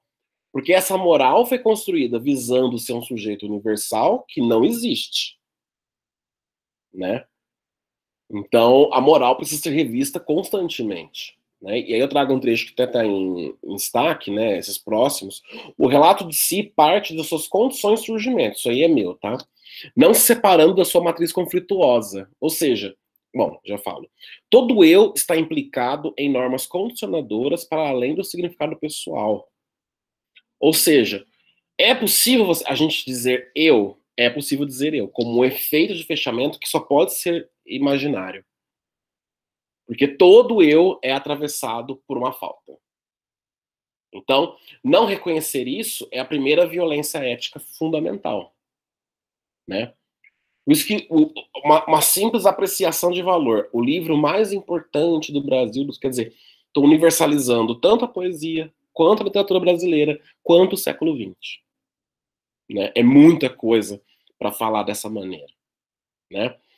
Então a gente tem que se apropriar dessa moral, inclusive no sentido para elaborar a minha crítica, né? Em relação a que que é o melhor, em relação a qual poesia, a qual século XX, a qual Brasil. Porque senão parece que essas coisas são super óbvias e fechadas, universais. Não são. Por isso cabe ao sujeito deliberar sobre suas normas de surgimento. Quer dizer, o que trazer né, para a consciência, digamos assim, do sujeito, desautomatizar aquilo que faz ele surgir. E a gente surge em relação ao desejo que é direcionado ao outro, esse desejo por reconhecimento. Né? Inclusive, a, a Butler, quando ela vai para psicanálise, né, não só para o Lacan, mas para o Laplanche, uh, o Winnicott, né? O Winnicott, por exemplo, né, a Melanie Klein, não lembro dela ter dialogado com a Melanie Klein, né? Mas quando a gente pega o Freud, inclusive, e o Freud ali, ele tá falando do, do jogo do Dar For, né? A criança, quando a mãe sai, a criança começa a fazer um jogo com uma espécie de um peão, né? Em que ela fica brincando, dá for, dá for, né? Lá e aqui, lá e aqui. E nessa, nessa materialização simbólica, né? Esse desejo de que a mãe volte, né? Esse, porque esse sujeito só se constitui como filho na presença da mãe. E na ausência da mãe, esse sujeito ele perde a sua possibilidade. O que, que eu sou sem esse sujeito para dizer o que eu sou? Né? E na falta desse sujeito, a gente faz a briga poder, a briga não, a brincadeira no simbólico, né, para poder adiar essa presença, né, e esperar por essa, essa manifestação de presença. Por isso que o relato de si, né, o eu, que diz eu, tem que ser visto assim. Uh, não que não exista eu, que é um niilismo total, não é isso. Mas uh, que não se trata nunca de um sujeito fechado. Né? Apesar de sermos chamados assim o tempo todo, né? A gente vê as manchetes de jornal. A gorda, o apresentador, o traficante, o criminoso, né? E a gente vê isso agora também, por exemplo, quando está falando da educação, né? A educação remota, o EAD, né? A gente está falando das aulas acontecendo aí, e às vezes a gente vê matéria dizendo assim, o ensino EAD, gente, e, e tem, tem críticos, né, que trazem assim, isso que as escolas estão fazendo não é EAD, é ensino remoto, é outra coisa. Né? Porque para ser AD tem que mudar o projeto de curso, tem que mudar a forma de avaliação, tem que ser uma coisa institucionalizada. E as escolas não estão tendo essa noção, elas estão entrando no jogo da universalidade. Se fala do EAD, do ensino à distância, como se fosse uma coisa óbvia, né? Sem se parar para pensar assim, mas o que, que é o, que isso que a gente está fazendo, né? É, sem se pensar a moral, a ética dessa relação né, de educação que eu vou ser obrigado a fazer a partir de agora. E as normas de nomear, e aí eu trago isso para minha conta, e eu trago baseado no Eduardo Guimarães e no Jacques Rancière, as normas, de, as formas de nomear são políticas. Quando eu dou um nome, eu estou assumindo uma posição na realidade, uma forma de apreensão da realidade. E chamar de EAD não é chamar de remoto. E chamar de remoto não é chamar de EAD. São coisas diferentes. Né? Por isso que ela faz aí, né, ao meu ver, uma, uma concatenação da filosofia ética com uma teoria social, né, quer dizer, como, que a, a, como repensar a ética nos leva a repensar essas questões sociais de reconhecimento, atrelando isso a uma teoria sobre o funcionamento da língua, que é o que eu estou tentando fazer com vocês aqui também, né, como que essas questões vão para o funcionamento da língua, né. É, por isso que ela traz a questão da reflexividade, reflexividade né, do eu que volta contra si mesmo. Quer dizer, o, o não, o, não há eu que fale sem esse movimento né, reflexivo de voltar sobre si. E a gente, quando fala da gente, né, falamos da gente como se fosse um outro. Né? Esse outro, então, não está fora da gente, esse outro nos habita, como um estranho, né? O Freud trouxe isso naquele texto maravilhoso do Heilig, né, do Homem da Areia, da leitura que ele faz do Homem da Areia. É... E eu trago um exemplo bem banal, bem cotidiano, para exemplificar para vocês. Já perceberam quando a gente fala com a gente mesmo, a gente fala com a gente como se a gente fosse um outro? Você nunca teve aquela, aquela hora que você falou assim, nossa, Jacó, você tá fazendo alguma coisa, e fala assim, nossa, Jacó, você é burro, hein? Puta que pariu, hein, Jacó, você é burro. A gente fala com o Jacó, eu tô falando com o Jacó como se o Jacó fosse um outro. Né? Então, essa reflexividade nos instaura também como outros para a gente. Por isso que não há esse fechamento, não há, não há esse. A gente, a gente lida com a autoridade como se o limite fosse claro, quando na verdade nós nos comparecemos com autoridade para, alteridade para nós mesmos. Né? E aí ela vai convocar o Altzer, essa questão da interpelação, né? Uh, para poder falar da força da moral na produção dos sujeitos, né? Eu não vou me estender muito, mas uh, um dos textos, né, que o Altzer vai trazer a questão da, da interpelação é, é o, o, os aparelhos ideológicos do Estado, né? Ou seja, de maneira bem resumida, bem chã, né? O que o Altzer coloca ali para gente é uma questão fundamental de comparecimento do sujeito. O sujeito comparece porque ele é convocado a comparecer. Nós não somos o que somos porque decidimos ser o que somos, né? Nós somos convocados a assumir esses lugares, né? Você não criou esse lugar de aluno, você assume esse lugar como se ele sempre tivesse existido. E como se ele fosse um lugar óbvio, com regras bem definidas, e como se o limite entre ser professor e ser aluno fosse coisas muito delimitadas, muito claras, o tempo todo. Quando na verdade esses limites eles são desenhados momento a momento, né? Por quê? Tudo é atravessado por essa falta, por essa falha fundamental que é da língua, né?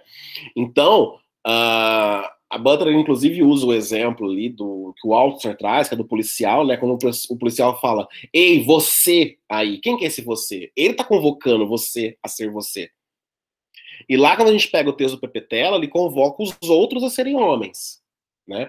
Ou seja, o que nos convoca a ser, por mais que eu fale, eu, Jacó, sou professor, eu coloco dessa maneira, mas porque eu já fui convocado em outro lugar, em uma cena perdida, a ser isso.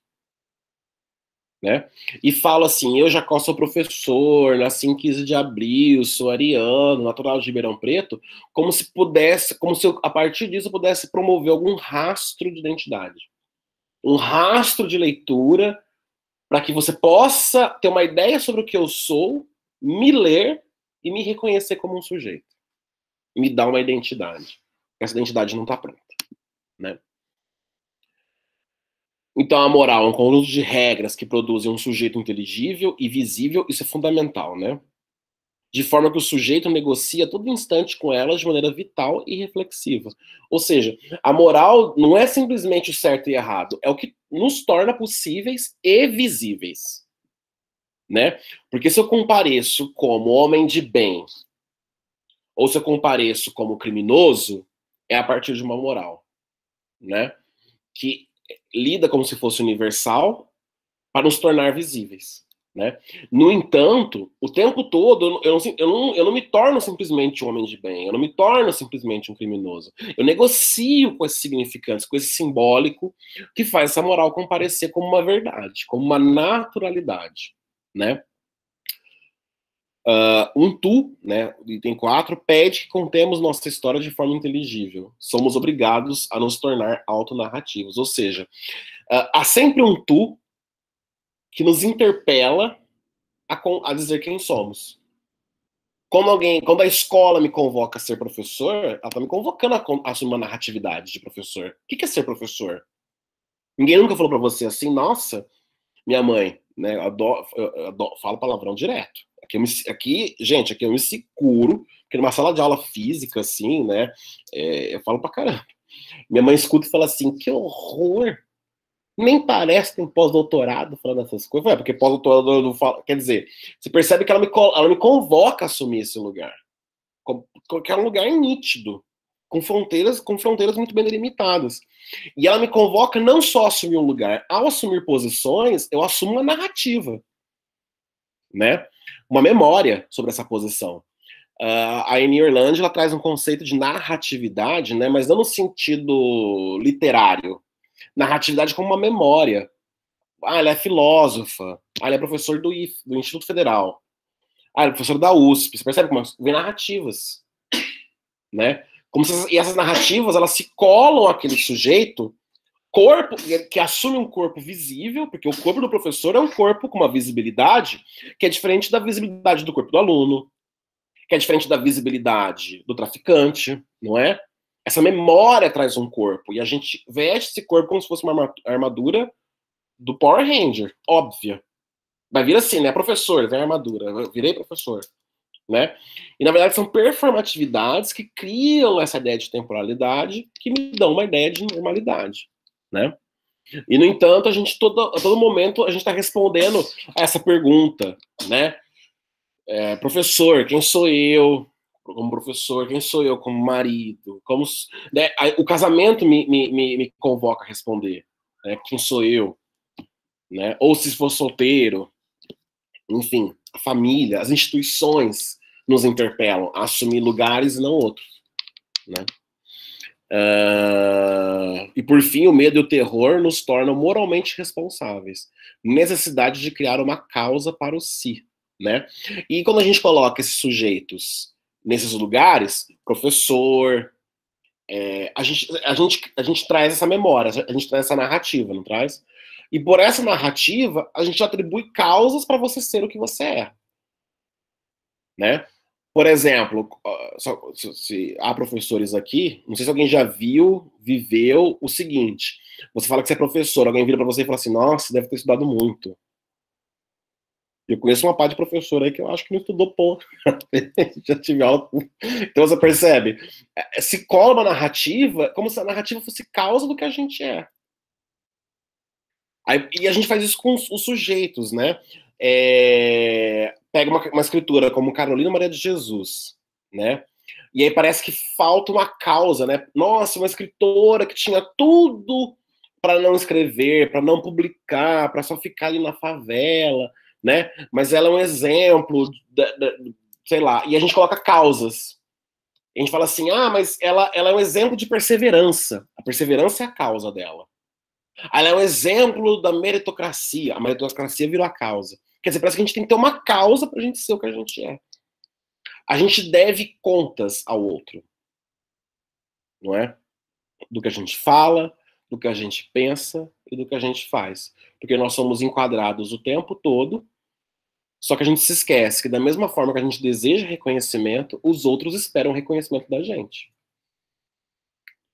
Né?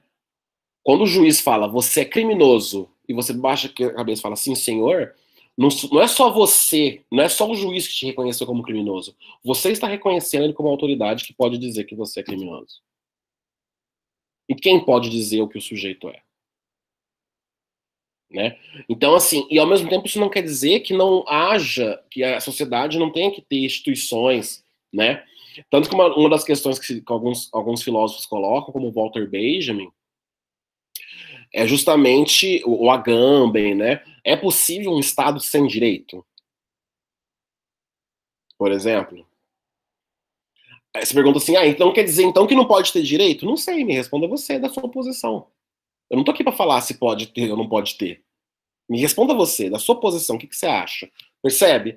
Porque as posições não são mais do que posições. Juntas elas vão se movimentando, elas vão se concatenando, elas vão se ligando né?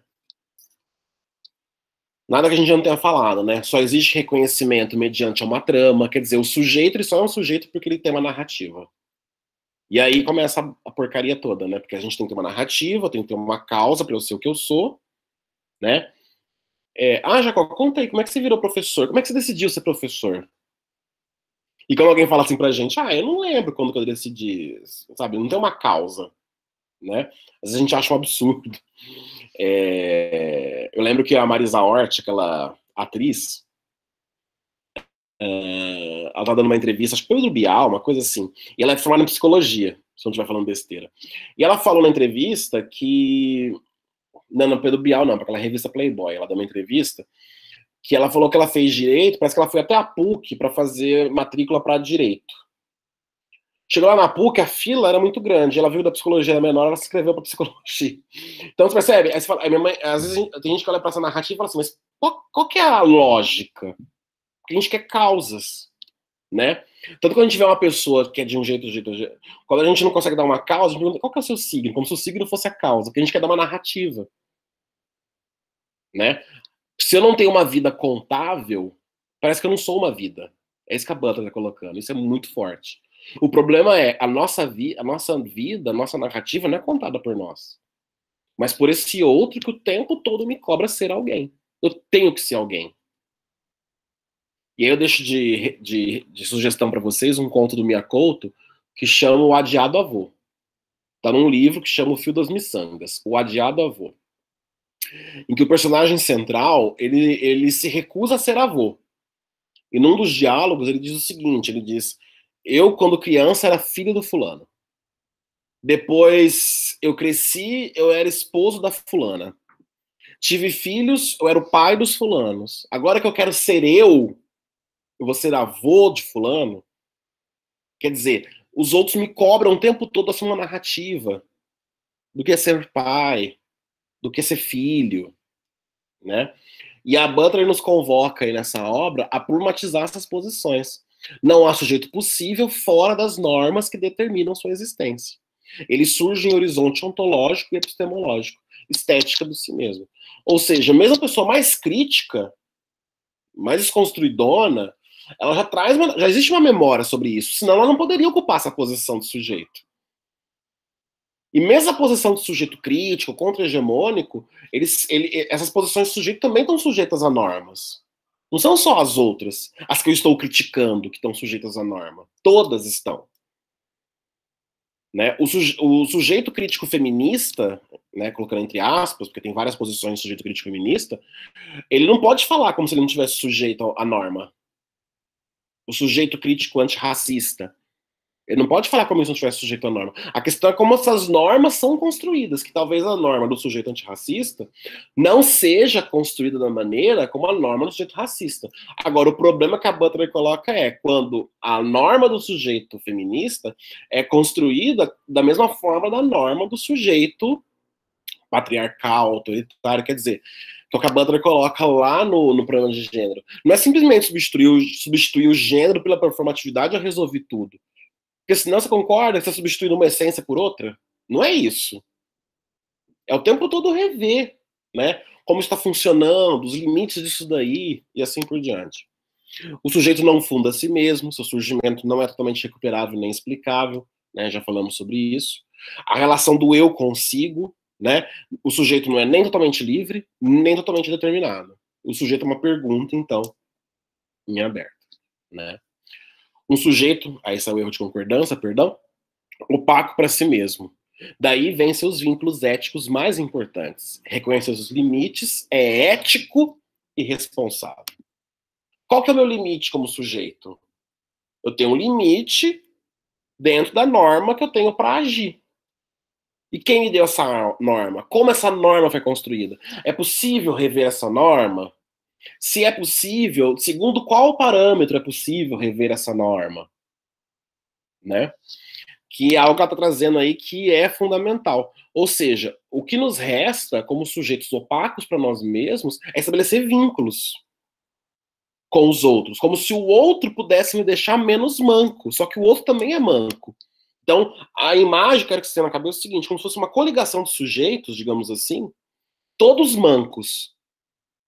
Né? O que me deixa um pouco menos manco, né, é o apoio no outro. Mas não deixa de ser um conjunto de sujeitos que todos, um por um, sofrem de uma falta. Né? É o que a Clarice Lispector traz, né, a narradora, lá no Paixão Segundo GH no momento fundamental que ela diz assim: perdi o meu tripé. Né? Porque ela tá ali tomando café, tal, classe média. Ela resolve limpar o quarto da empregada e ali o mundo todo dela desmorona, aquele mundo que ela foi normalizando ao longo da vida, né? Nessa performatividade, nessa temporalidade que ajudou ela a criar uma ideia de normalidade. E ali esses vínculos éticos, eles são todos desestabilizados né? E aquela coisa que eu digo para vocês, é possível romper com a moral? Não é possível. É possível romper com a ética? Não, não é possível. Porque, inclusive, para eu dizer que eu estou rompendo com a ética, isso é um vínculo com a ética. Rompimento é vínculo. Né? Eu romper com uma pessoa não significa que, não existe mais nada. Eu estou transformando a relação.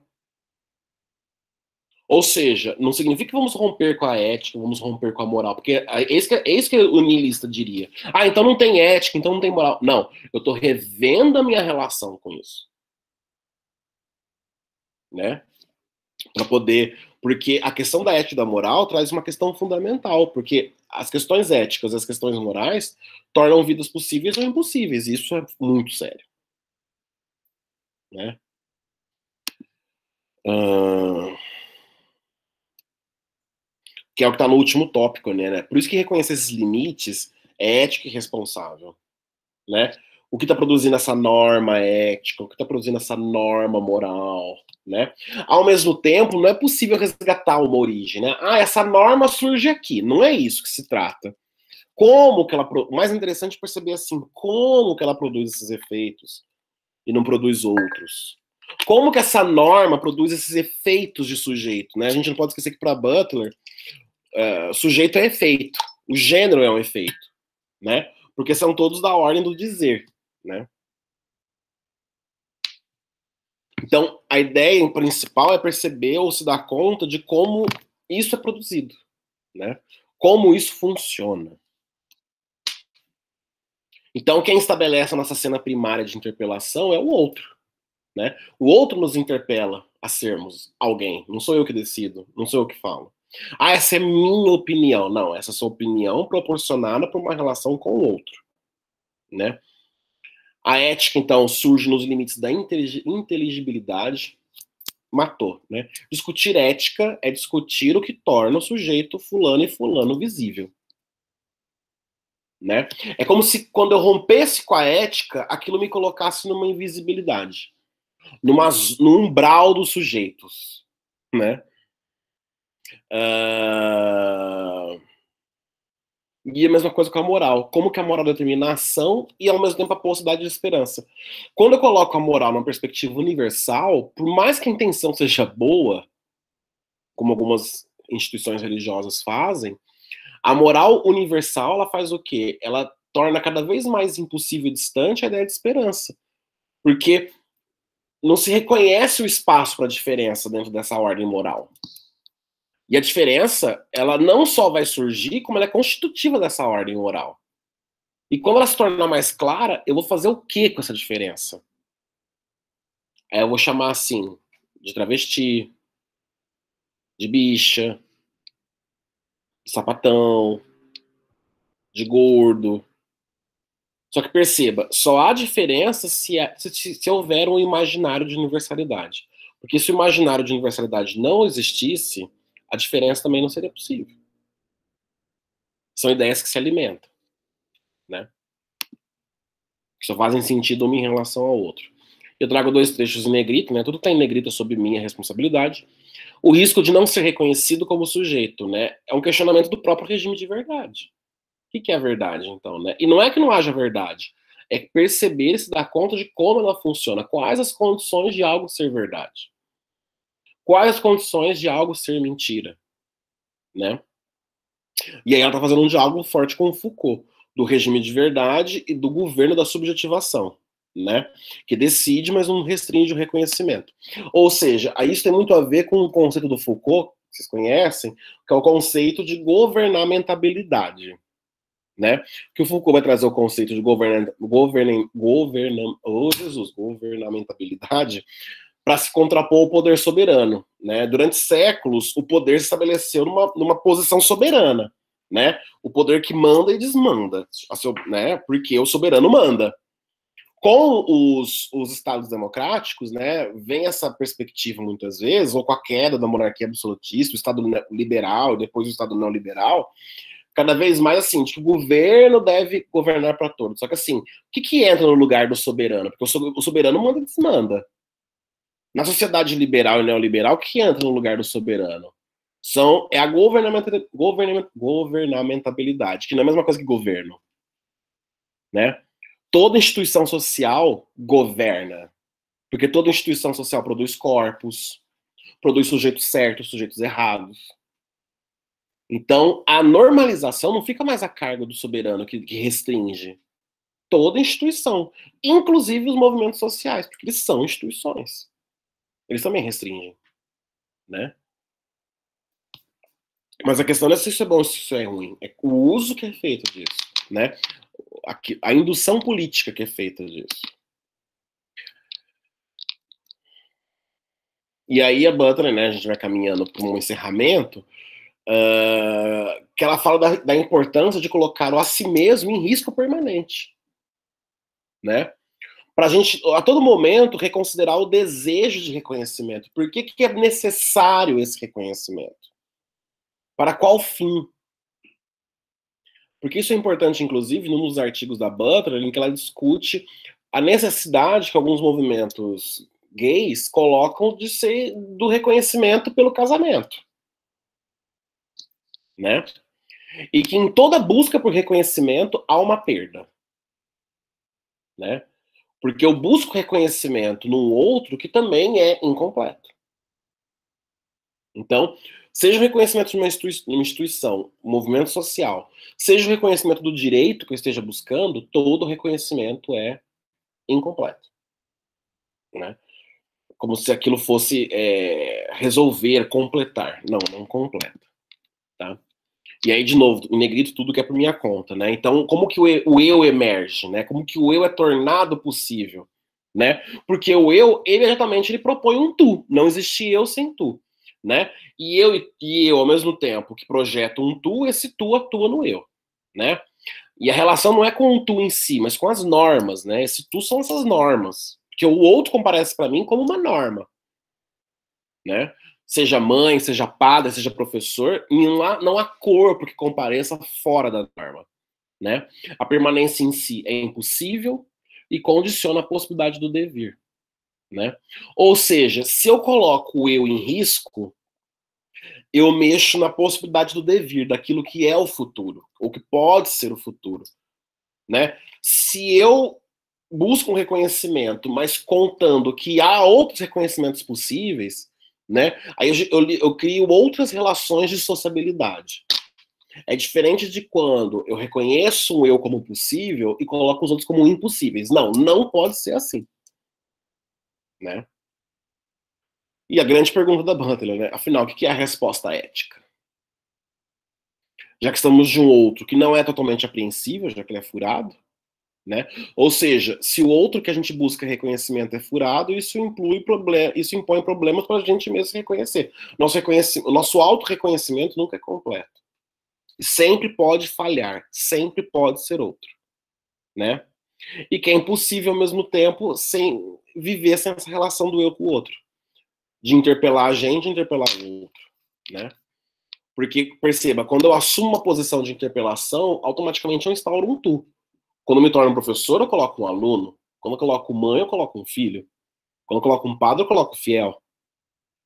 Né? Então, quando eu assumo um reconhecimento, por que, que o reconhecimento é de questão? Vamos resumir então. Por que, que o reconhecimento é de ordem ética e moral? Porque quando eu me reconheço numa posição, eu instalo um lugar para o outro. Então, querer um lugar para mim, mesmo que eu não me dê conta disso, é criar um lugar de possibilidade de um para o outro. Né? Que é aquela dialética do senhor escravo lá, semelhantemente, digamos assim, do que o Hegel vai colocar para gente, né? Então, a diferença, a singularidade que está ditado errado aí é irredutibilidade da exposição, não pode ser narrado. Ou seja, a diferença entre mim e vocês é algo de uma ordem que não pode ser colocada na, na narrativa. No entanto, é essa diferença que permite que o sentido deslize, que ele possa ser outro, né? Mesmo quando assim, a gente pense, ah, fulana, ah, ela é maravilhosa, ela é mãe, ela é amiga, ela é profissional, só que a gente não pode tomar mãe, amiga e profissional como categorias universais, né? E essa diferença entre uma mãe, outra mãe, outra mãe, performatividades, né, de masculino, esse masculino, esse outro masculino, esse feminino, esse outro... existe uma diferença, um resto que não pode ser narrado, né, que não pode ser colocado no sentido. Porque é necessário haver esse sem sentido para que os, os, as significações deslizem né? Uh, e quem que é o destinatário dessa narrativa que a gente está construindo sobre a gente, né? Porque perceba, eu sempre falo e existo destinado a um outro que não sou eu. Porque mesmo quando eu falo assim para mim, ah, eu tô fazendo. Já, já alguém falar assim, ah, eu gosto de fazer isso. Uma amiga minha falou uma vez assim, eu gosto de fazer, eu gosto de correr. Eu gosto de corrida, porque é uma das poucas coisas que eu faço para mim mesma. Quando ela falou dessa maneira, inclusive a ordem linguística coloca ela como se ela fosse um outro, né? O mim mesma. E perceba, ela está colocando aí uma questão que está nesse tópico, né? Que ela está direcionando isso que ela faz, que é correr, né? Para um outro. Que é esse mim. Mas o que é esse mim mesma? Né? Que está fazendo? Quer dizer, então, em que medida que o que você faz na corrida não é o que você faz com a sua filha? Não é o que você faz com o seu trabalho? Ah, porque aí é para o outro, mas nessa perspectiva, correr também é para o outro. É para um, um, um, reconhecimento que você dirige para o outro. Então não, não há vida que seja para si, fechada. A nossa vida é direcionada e capturada por diversos outros. Né? Então, o relato de si, ele não é fundado no eu somente, mas em uma sociabilidade saturada, excessiva. Porque nós somos capturados por esses diversos eus, né? Usamos e somos usados pelas normas, né? Porque da mesma maneira que a norma me torna possível, eu torno possível a norma, né? Quando eu quando eu repito a norma, quando eu performatizo a norma, né? E vocês sabem que norma e regra não é a mesma coisa para Butler né? Tem um artigo dela que eu posso mandar depois para vocês, que é o Desfazendo Gênero. Me lembrem depois. Que a regra e a norma são coisas diferentes. A norma é aquilo que é responsável por tornar algo normal. E dentro dessa norma surgem diversas regras, entre elas a lei. Né? Quando eu falo de lei Maria da Penha, é porque ela é fruto de um processo de normalização, de criação de normas, que cria sujeitos. Né? Então são coisas diferentes. Né? Digamos assim, é como se numa relação de temporalidade a regra fosse um mais tarde da norma. Né? O que é então essa narrativa do eu? Uma fora-clusão da referência. O que isso quer dizer? É, fora é um conceito que ela traz lá da psicanálise, né? E a junção de duas palavras, né? A inclusão e o fora. É a fora-clusão. Ou seja, o eu não é, é algo que não é nem dentro de mim e nem fora. É essa relação intervalar. O eu é, perceba, é como se fosse aquele, não é nem um pêndulo. Viram aquele livro Pêndulo do Foucault? Eu digo que o eu não é nem um pêndulo, ele é o movimento do pêndulo. Isso é o eu nessa perspectiva filosófica epistemológica, né? Isso é muito forte. Eu me faço substituível para ser legível. O que é se tornar um eu? É colocar algo no lugar do si que a gente não sabe o que é. Aí eu sou professor, estou colocando alguma coisa no lugar. Eu coloco palavras no lugar desse vazio. No entanto, isso não significa que o vazio é eliminado. Aí eu sou mãe, coloquei alguma coisa no lugar. É sempre uma relação de transferência. Uma relação metafórica. Que é a relação primordial para se produzir sentido. Uh, isso coloca as normas numa temporalidade, né? Porque eu trato, eu, eu, lido com as normas como se elas fossem sempre anteriores, mas elas não são anteriores, né? Eu torno a norma pre presente no mesmo momento que eu a executo. É que eu executo a norma como se ela fosse algo passado, como se ela fosse algo concreto, como se ela fosse algo já sabido, já incorporado, certo. No entanto, quando eu performatizo a norma, eu construo a norma novamente. Né? Com diferença. Porque é outro momento, outra posição sujeito, e assim por diante. Isso contribui para relativizar a singularidade, quer dizer, que, que é o sujeito? É uma singularidade construída à base de substituições de autoridades. Por isso que é uma negociação, né? Eu vou colocando alguma coisa no lugar da outra, vou colocando uma coisa no lugar da outra, né? E a gente faz isso não só com, a, com os reconhecimentos dos sujeitos, né, gente? Isso acontece com os sujeitos porque isso acontece na língua. O efeito metafórico é o funcionamento primordial da língua. O que é a língua? É palavra no lugar de palavra. Pega o dicionário. O que é o dicionário? É um monte de palavras dizendo que são as palavras. O que é o amor? Por mais que você fale assim, o amor é um sentimento, mas única, o único dispositivo que eu tenho para significar o amor são outras palavras. Eu coloco palavra no lugar de palavra e eu esqueço que ao fazer esse movimento na língua, as coisas. Se tem uma coisa que as coisas não ficam, são claras. Por isso que não há relação direta entre palavra e coisa. Né? O que há são palavras. Então, ser um corpo, né, é ser privado de uma recordação completa da vida, é o fracasso do relato de si, né, porque eu só posso construir uma narrativa possível para mim a partir dessas posições de autoridade, de substituição, e aí a Butler termina o livro dizendo, e aí eu recupero o Drummond lá do começo, somos tardios a nós mesmos. Né? Nós sempre chegamos tardes a nós mesmos. É... Eu vou dar um exemplo que eu não coloquei aqui também, porque senão depois o vídeo não sobe. Mas depois procurem no. Ou posso passar no grupo para vocês, enfim. No YouTube, aquele seriado que eu acho maravilhoso, que eu chorei cântaros de sangue quando a Netflix não renovou, que é o Sense8, né? E tem uma cena que eu choro, que ela é muito bonita, aquela personagem, a nome, né, que é uma atriz, inclusive, transexual, que faz mesmo, um personagem que também é trans, passa pelo processo de transexualização. É... Que ela lembra, que ela tá contando para outro personagem, que é um, a gente chama de gay enrustido, né? E é interessante porque a Eve Sedgwick, na né, epistemologia do armário, ela fala uma coisa fundamental, né? Quem fala, quem criou a expressão armário é um saber hétero, né? que julga saber o que é o gay. Que nem uma vez quando disseram assim para mim, uma pessoa da minha família disse assim: você precisa se assumir pros seus pais. Peraí, como assim? Eu preciso me assumir. Perguntei, inclusive, qual foi o grande dia que você chegou pro meu pai, pra minha mãe, ou pro seu pai, pra sua mãe, pro seu... enfim. E disse assim: pai, mãe, eu tenho uma coisa muito séria pra falar com vocês. Não sei como é que vocês vão reagir, não sei o que vocês acham, não me interessa, mas eu sou hétero. Eu gosto de mulheres. Qual foi o dia que você precisou fazer isso? Então, por que você me coloca num lugar de que eu tenho que fazer esse dever ético, moral, né? E é uma cena linda da nome que ela contando que é, o pai dela, quando percebeu que ela não era um homem normal, um menino normal, percebe? Colocando num lugar de outro, e o pai nem se deu conta que ele, ao ser homem normal, ele já foi colocado num lugar de um outro, né? A gente faz o tempo todo o processo de transferência, não só com a gente, mas com os outros. O pai colocou ela na escola de natação. E o pai disse assim, né? Ali você vai virar homem. Que é que no Ateneu, aquele livro Ateneu, o personagem fala pro personagem central, né? Ali você vai virar homem. E ela fala que ali ela sofria as maiores formas de violência, porque quando ela ia entrar na piscina, até então na forma, numa performatividade mais masculina, hegemonicamente apreensível, legível, ela, ela entrava de roupa. E um dia os meninos resolveram tirar a roupa dela e colocaram no debaixo do chuveiro que saía água direto da caldeira. E a água saiu tão quente que queimou o corpo todo.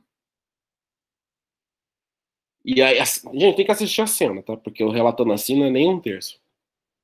E, e ela fala, né, que ali, anos depois ela se deu conta de que aqueles meninos estavam errados.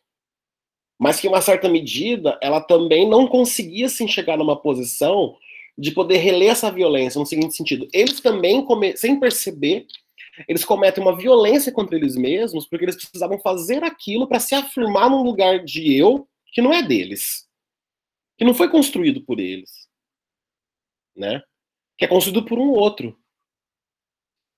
Então, falamos desse lugar de certeza que nos foi dado, que foi transferido, que foi emprestado. Né? A, a expressão que eu gosto de usar é liberdade condicional. Né? Ao mesmo tempo que o relato inevitavelmente vai fracassar, porque é um relato feito sempre num lugar de provisoriedade, um lugar do outro, ao mesmo tempo algo, algo resta desse relato, algo que não pode ser esse relato do eu, né, dessa narrativa do eu, algo resta e não pode ser significado. Né? E aí a psicanálise lacaniana vai levar isso para angústia, para objeto A, por exemplo, né? E assim por diante. Uh, eu queria mostrar para vocês é... para encerrar, eu não vou ler inteiro, tá, gente? Para que são 9 e 12. Mas eu quero mostrar para vocês um trecho de um conto desse livro da Clarice, Felicidade Clandestina. E eu trouxe essa capa porque eu tenho a coleção, o meu corpo de pesquisa atualmente é a Clarice Lispector e, né, a Carolina Maria de Jesus, são as obras, que, as autoras com que eu mais tenho trabalhado. É, eu tenho a coleção toda da Clarice, né, aquela estante ali é toda da Clarice. E a editora Rocco, esse ano, a Clarice faria 100 anos, né, de nascimento. A editora Rocco está relançando toda a obra da Clarice com as capas novas, que são as, que são as pinturas feitas pela Clarice nos seus últimos anos de vida, né? Então, são pegas pinturas, e se faz um recorte, se faz um projeto gráfico novo, e colocaram é, pós-fácios, né? Cada livro traz um pós-fácil inédito, feito por especialistas e tal. Então, o que, que o Jacozinho faz nessa hora? O Jacozinho, despossuído do seu lugar de eu e sendo possuído por um lugar do consumo, ele compra todo de novo. Apesar de ter ele quer colecionar toda a capa nova. Então eu tô aí para poder contaminar vocês, que eu não quero ser isso sozinho, não. Então, essa capa maravilhosa aí do Felicidade Clandestina. E eu quero trazer para vocês um conto que nem é o conto mais famoso, não é um conto muito famoso. Eu escrevi um artigo sobre esse conto. Posso compartilhar como orientanda minha, Maeli, uma orientanda maravilhosa, competente, super competente. E eu poderia ter muitos elogios a ela, né? Mas é, a Maélia é uma pesquisadora fantástica. E olha que ela acabou de fazer os seus 20 anos. E, inclusive, ela, com essa idade, ela foi indicada ao CNPq como prêmio de melhor pesquisa, né? Fazendo pesquisa e literatura sobre Clarice Lispector. Apesar das bolsas terem sido todas retiradas, né? Porque não é pesquisa para se gastar dinheiro. É, analisando o político da Clarice, junto comigo. É, a gente escreveu sobre esse conto aqui. Eu vou parar de compartilhar o slide e vou compartilhar com vocês agora o, o, o conto. Eu, vou, eu, posso mandar o conto para vocês, mas vocês acham na internet também, tá, gente? O conto chama A Repartição dos Pães. Tá aparecendo aí para vocês, eu acho. Vixe. o Ulisses aqui, tá... inclusive o Ulisses, ele chama o Ulisses quase o cachorro da Clarice Lispector. Acho que ele ouviu falar a memória e a narrativa dele que não pertence a ele, fez ele latir. É... Então, a repartição dos pães, né? Era sábado e estávamos convidados para o almoço de obrigação. Começou aí, né, gente? Esse lugar que nos colocam, o almoço de obrigação. Mas cada um de nós gostava demais de sábado para gastá-lo com quem não queríamos. Cada um for alguma vez feliz e ficara com a marca do desejo. Eu, eu queria tudo. Deixa eu aumentar um pouco, que talvez que melhor para vocês lerem. Deixa eu ver só aqui.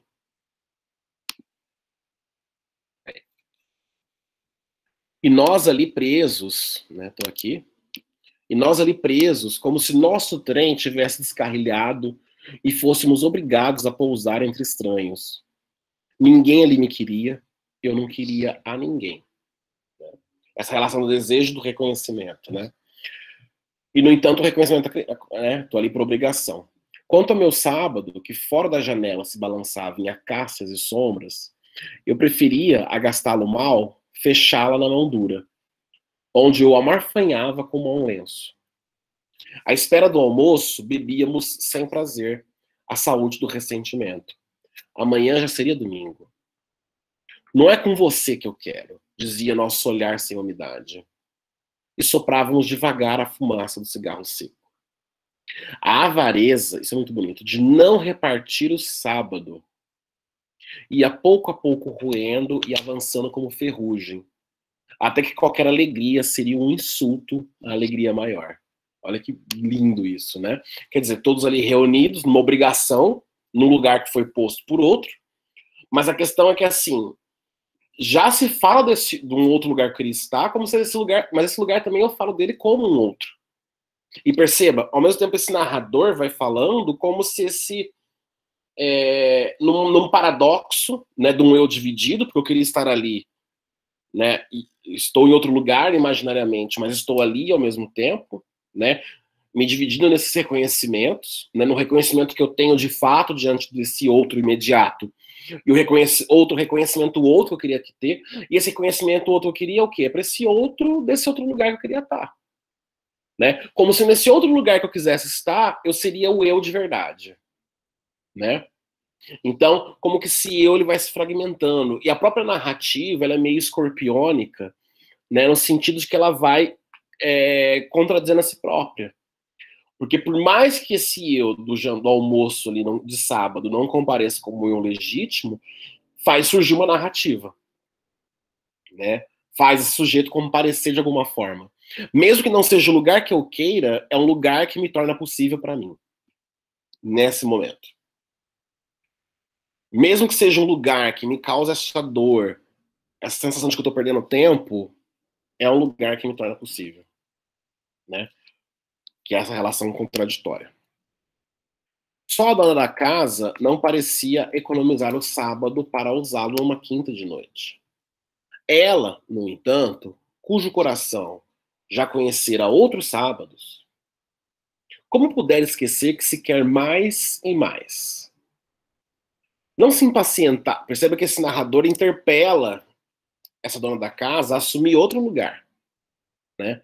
Não se impacientava sequer com um grupo heterogêneo, sonhador e resignado que na sua casa só esperava como pela hora do primeiro trem partir, qualquer trem.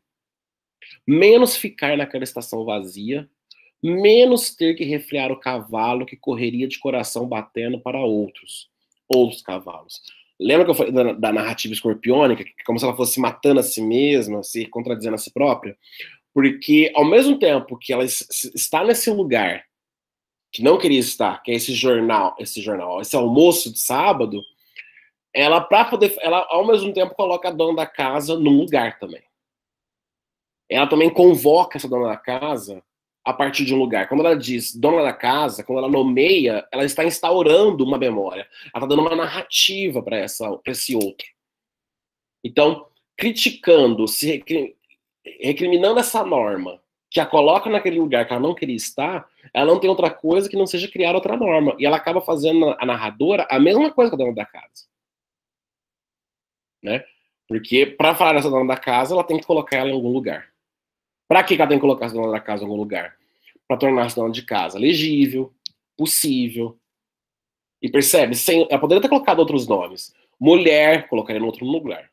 A senhora de mais idade, colocaria num lugar. Não importa o nome se traz uma memória, se traz um lugar, eu interpelo a ser alguém. Né?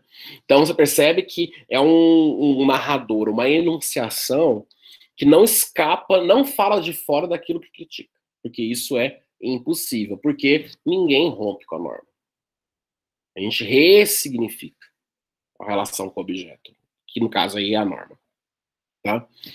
Eu vou convidar vocês a lerem o conto em casa, né, buscando essas questões aí, porque eu acho que esse conto ele é bem interessante para para se trabalhar essas questões aí que a Butler está trazendo para gente. Inclusive esse conto saiu num livro. Depois eu posso te ver se eu acho o livro aqui, porque aqui aqui atrás ficam os meus. Aqui.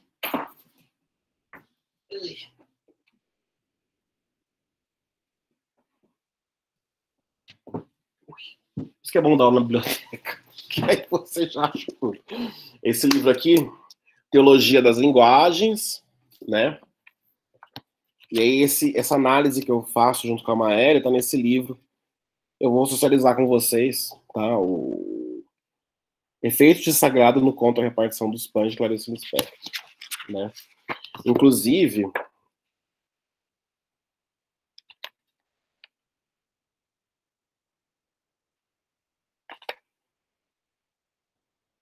Olha isso aqui. A experiência com o sagrado, né? Porque depois a gente vai ver que é, uma, é, uma, é um almoço meio com, com um ritual religioso ali, né? Eles repetiam aquele ritual daquele almoço como se fosse religioso. A experiência com o sagrado, apesar de ser construída no interior de uma personagem através das técnicas narrativas, não pode ser tomada como universal. Já que o sujeito do conto é interpelado pela ideologia que funciona nas formações discursivas e nas condições de produção de uma possível classe média, por si só, não homogênea. Porque você percebe, falar que alguém é classe média é, é, é convocar a um certo reconhecimento que eu estou esperando, né? E aí, quando não assumo esse, esse lugar que eu estou esperando, é do outro nome. É simples assim. Na, uh, na história e na cultura da sociedade ocidental. Por sua vez, também descontínua e efeito de lutas pelo sentido. Partilhar os pães pode significar a diferença que nos distancia e aproxima, porque nos torna sujeitos na tentativa saturada de emergir enquanto rastros que emergem no banquete dos sentidos, né? Inclusive nesse texto, vou até colocar aqui, né? A, a referência aí, uma das referências é a Butler, esse livro aqui, o Relatar a Si mesmo, tá?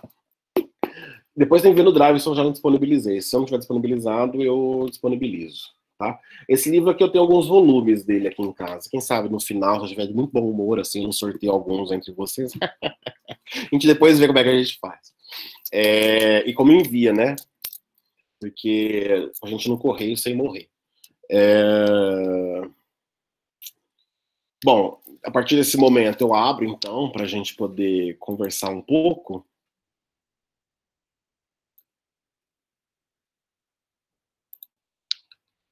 Deixa eu abrir aqui o bate-papo.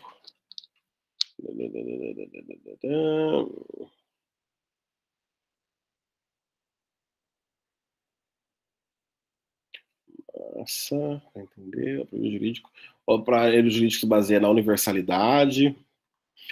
É, é aquilo que a gente está conversando, né? Para a lei funcionar, não tem como não eleger um sujeito. O problema é quando esse sujeito que a lei erige ou que a lei exige, ou que a lei interpela, eu tomo como se ele não pudesse ser outro. Né? Então, quem que é esse, esse sujeito que a lei está tomando? Né? Isso é fundamental. Não tomar esse sujeito como uma ordem fechada. Wilder, professor, interessante que ontem em uma aula fiz uma problematização da noção de sujeito cartesiano do penso logo existo, no discurso sobre o método. O sujeito indicar basta ao próprio pensar para existir, e como isso foi fortalecido em ciências naturais positivistas. Exatamente. Tanto que a grande referência que eu tomo para falar de uma outra visão do sujeito é o próprio Descartes, né? Inclusive, quando ele fala que a, a, a, ciência geométrica, né, talvez fosse a ciência mais perfeita de todas. Inclusive a ciência para explicar outras ciências. Porque o sujeito descartiano é esse sujeito realmente fechado, né? Que eu posso, inclusive, é, delimitar numericamente, né? É, eu não sei se já falei para vocês como uma referência, acho que eu passei na primeira aula, mas o Luiz Costa Lima é um autor super interessante para pegar essa transformação da concepção de sujeito, uma parte dela, no Ocidente, tá? Tanto que os advogados trabalham justamente na falha, no equívoco da lei, justamente, né? Porque a lei não vai dar conta de um sujeito universal.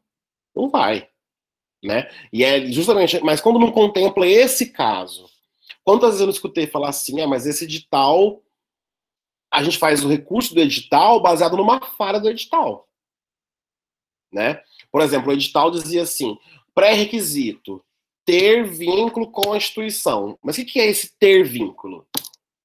Tem que especificar. Né? Segundo qual lei? Direito público? Porque ter vínculo para o direito civil é uma coisa, ter vínculo para o direito público é outra coisa. Né? Vou falar de uma maneira bem, bem básica, bem banal, digamos assim.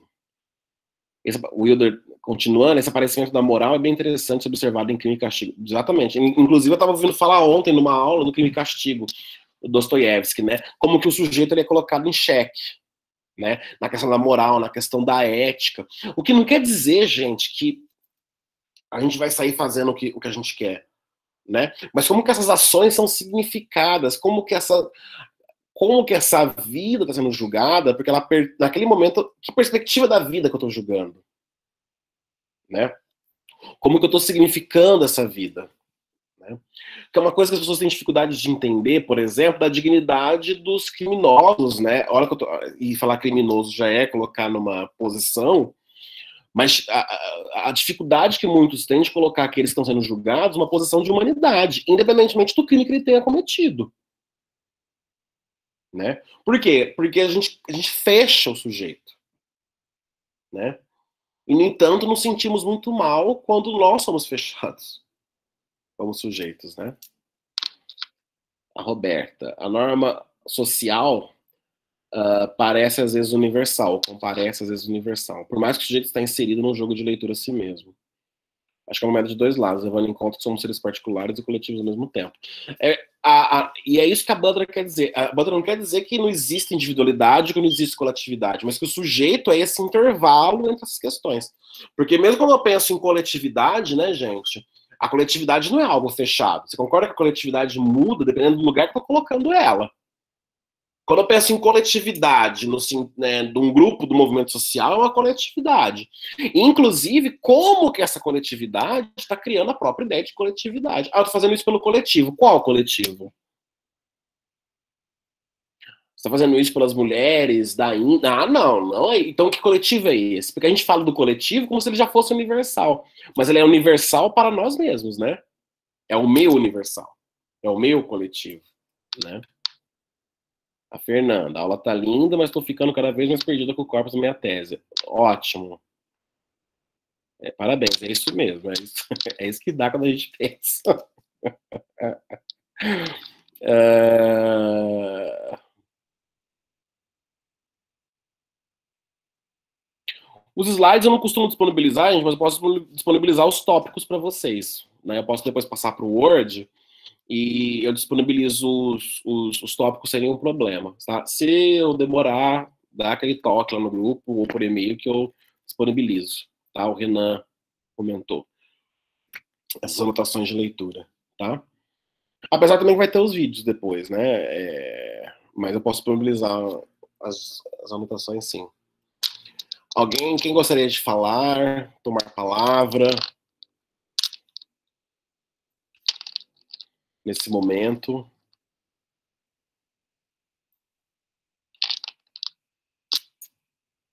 E, e...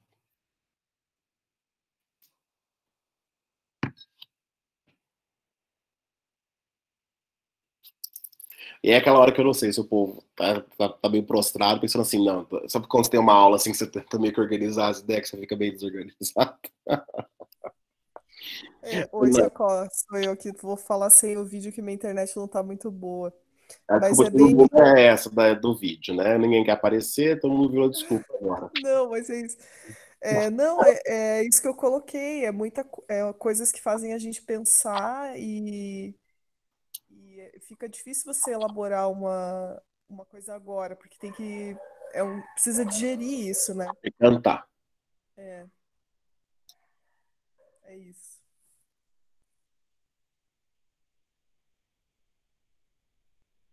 Deixa eu ver a declaração. Nossa, tô nove e meia.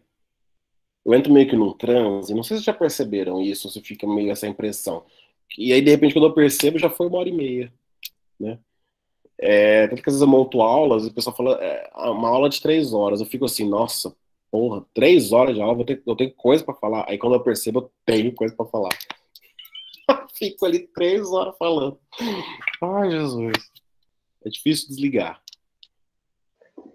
Eu vou falar um pouquinho. Ah, você. Ai, meu Deus.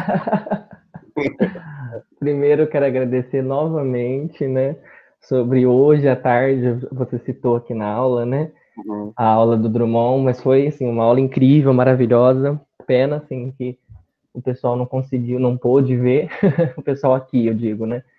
Não pôde ver a sua aula sobre Drummond, que foi incrível. Mas é, eu queria comentar, até falando um pouco sobre o que a Fernanda falou, nessa questão de digerir, né? de digerir a, as, as teorias e tudo mais. E tanto que eu estou fazendo esse, o, o movimento inverso, eu acho, né? Eu estou lendo conforme eu vou assistindo as aulas, né? Então, hoje, quando terminar, eu vou começar a ler essa, essa teoria, esse texto, né? Então, uhum. porque eu acho que, que me ajuda a me, me organizar, né, o pensamento, assim, eu consigo ter, e, e é até bacana porque hoje eu acabei de ler a, a, o texto passado, tipo, ou melhor, reler o texto passado. E aí, como eu recebo esse novo, esse novo texto, é muito bacana essa transição.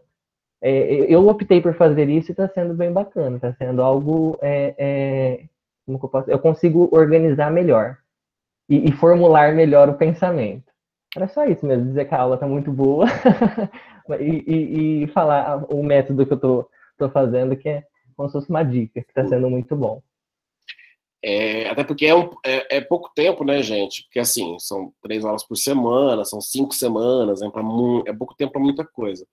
Mas é, uma coisa que é importante, que eu vi agora a Fernanda falar, e o João também, que a gente não pode esquecer que às vezes eu escuto alguém falar assim, ah, eu não sei se eu entendo a Butler não sei se eu entendi a Butler, né? Poderia falar várias coisas sobre isso. A primeira delas é que assim, a gente não pode esquecer que quando a gente lê, a gente, inclusive seguindo o que está aqui no Relatar a Si Mesmo, a gente lê colocando um lugar, né? Então, o lugar onde eu estou lendo não é o lugar que talvez vocês vão ler.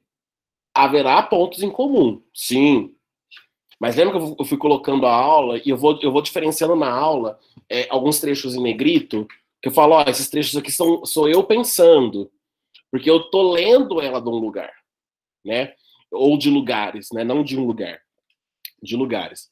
Então, é que nem quando o aluno, no, em geral, no ensino médio, mas na faculdade também, viu? Vira para mim e fala assim: ah, li esse texto aqui não entendi nada. Primeira coisa que eu pergunto: o texto fala de tomate? Não, não fala. Então, entendeu alguma coisa? Né? A gente é, e, é, é um trabalho, inclusive, assim, né, quando o aluno, o aluno tem essa postura, ou o leitor tem essa postura, que é meio exercício que o Drummond fala naquele poema do Consolo na Praia, de não se apegar, a gente tem um excessivo apego ao que não foi entendido. E se apegar mais ao que foi entendido, ainda que pareça que é pouco. Um texto nunca vai, ser, nunca vai se fechar, porque os sujeitos não se fecham.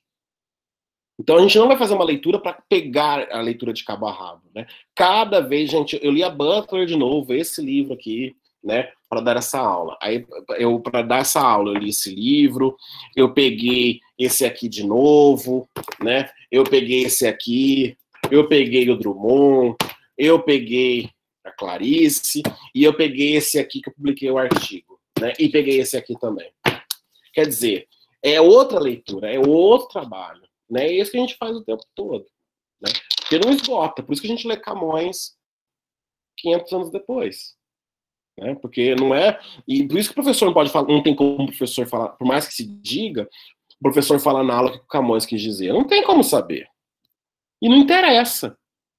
A leitura é outro, é um, a leitura é um trabalho. Enquanto trabalho, ela é transformação. A gente não lê para acessar o código dos códigos. A gente lê para trabalhar o simbólico, o imaginário e o real. Arrasei agora, hein? Nossa, falei uma coisa. Tem que encerrar a aula, depois falar uma coisa dessa. A gente faz assim, ah, com essa frase de efeito, encerrar a aula. Mas é isso, é um trabalho. Né? Eu acredito piamente nisso hoje. Né? É, esse negócio do hoje, eu lembrei uma vez que um, tava, a gente estava lendo um, texto, um, texto, um trechinho do Heidegger na aula, e ele falava sobre a responsabilidade da questão de como a gente declara amor, né?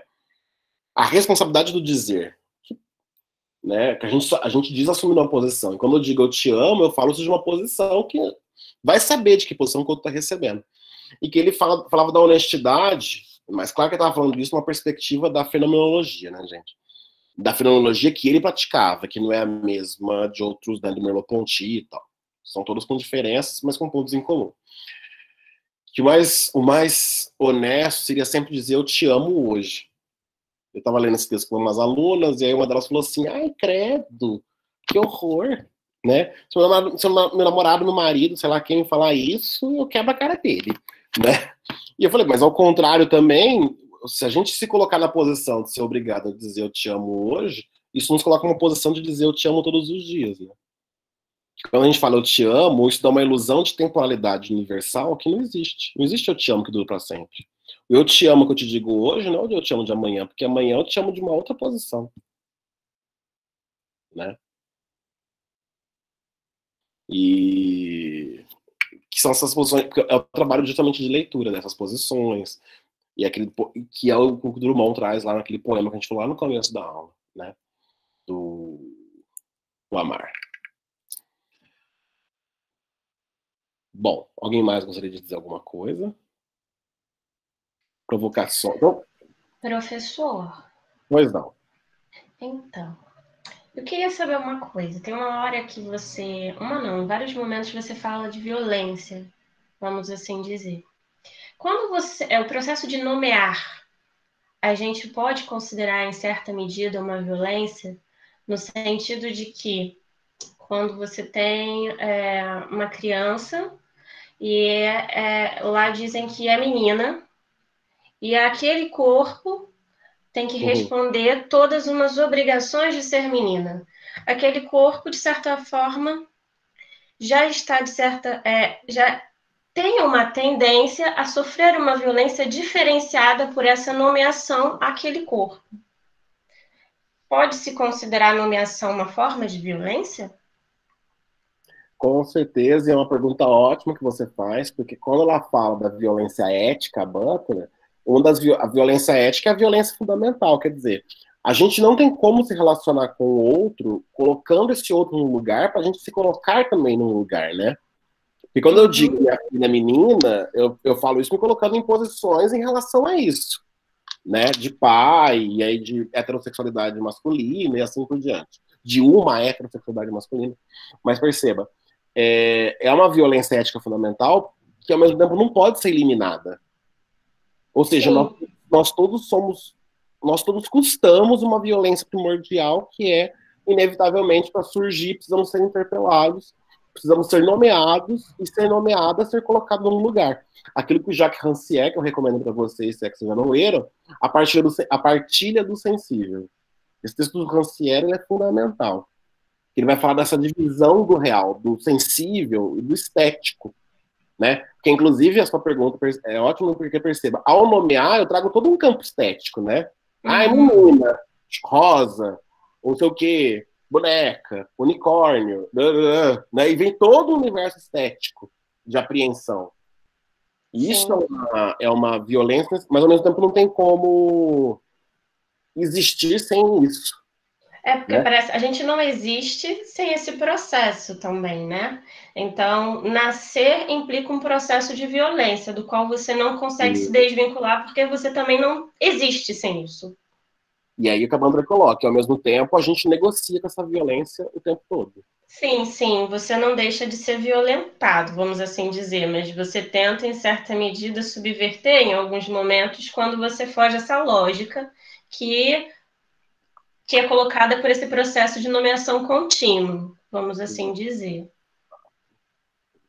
Tá, então eu entendi. Essa mesma nomeação a gente pode levar, por exemplo, para a questão de raça, para a questão de etnia, quando você tem a questão da Palestina, quando você Não. tem aqueles corpos mesmo. Perfeito. E que é aquela questão, né? Por isso que são questões que não se resolvem, não estão aí para ser resolvidas, elas estão aí para serem problematizadas, é outra coisa. Uhum. É questão de visibilizar a existência delas e, a partir disso, poder negociar esses sentidos, né? Exatamente. Tá, então beleza. Entendi. Estava entendendo errado, não. Valeu, professor. Imagina, agradeço. Alguém mais? Eu vi alguém assim, uh, colocando verdinho para falar. O Hilder, eu acho, quer falar alguma coisa? Ou acendeu por sem querer? Gostaria sim, professor. Pode falar. Boa noite. É, professor, eu trabalho com. Eu acho interessante quando o senhor faz algumas. Quando você faz algumas comparações entre o Bakhtin e a Butler, e aí eu fiquei curioso por esse seu. Não sei se é um escrito ou alguma análise que, que o senhor fez, né? Uhum. Pela própria noção de sujeito, porque eu confesso que hoje, do meu ponto de vista de conhecimento é, da, da, da escrita da Butler, talvez um, a pequena dificuldade que eu teria era em relação a essa noção de o sujeito em Bakhtin ser totalmente consciente, não é um sujeito que ele é ele é ativo e ele é consciente e ao que me parece nos escritos da Butler como ela dialoga com Foucault e com é, alguns teóricos que não trabalham, vamos dizer assim, com um sujeito totalmente consciente, uhum. ou que, que perpassam pelo inconsciente, né? Então, eu acredito que eu teria um pouco de dificuldade nesse sentido, apenas de, de dialogar um sujeito que é consciente com uma percepção de sujeito que. Mas, assim, o que eu consigo demais visibilizar não é, a noção de sujeito enquanto esse, esse sujeito que se dá no devir. Uhum. Esse vir a ser, não é? esse sujeito que, é, conforme foi colocado, é, ele é um intervalo entre a individualidade e a coletividade. Né? Isso, isso é muito marcado em, para uma filosofia do ato responsável. É, do Bakhtin, lá está muito marcado esse sujeito que ele se dá é, no devir, ele é um vir a ser. Então, uhum. assim, a uhum. minha pergunta seria assim, qual o ponto de encontro entre esse sujeito. É assim, eu sei que é muito complexo e o senhor pode até explicar depois, em outro momento. Não é preciso explicar agora, porque é muito seria muito denso. Mas é, é, uma dificuldade que eu ainda tenho de conciliar essas percepções de sujeito entre a, a noção do sujeito consciente, né, esse sujeito que é chamado à responsabilidade o tempo inteiro, e esse outro sujeito que, que a gente entende que está sendo construído pela Butler, mas que perpassam, talvez perpassam um pouco pela noção do inconsciente. É mais isso. É, eu não vou conseguir responder no sentido assim, do... bom, já não conseguiria de qualquer maneira porque não tem como fechar, né? E não que vocês me pedindo também o fechamento. Mas isso aí que você me propõe, inclusive, poderia virar até um trabalho assim. Sim, sim, acho bem interessante isso aí. Inclusive, eu já vou te falar onde que é o ponto de encontro. É um artigo que você vai escrever para o curso. Né?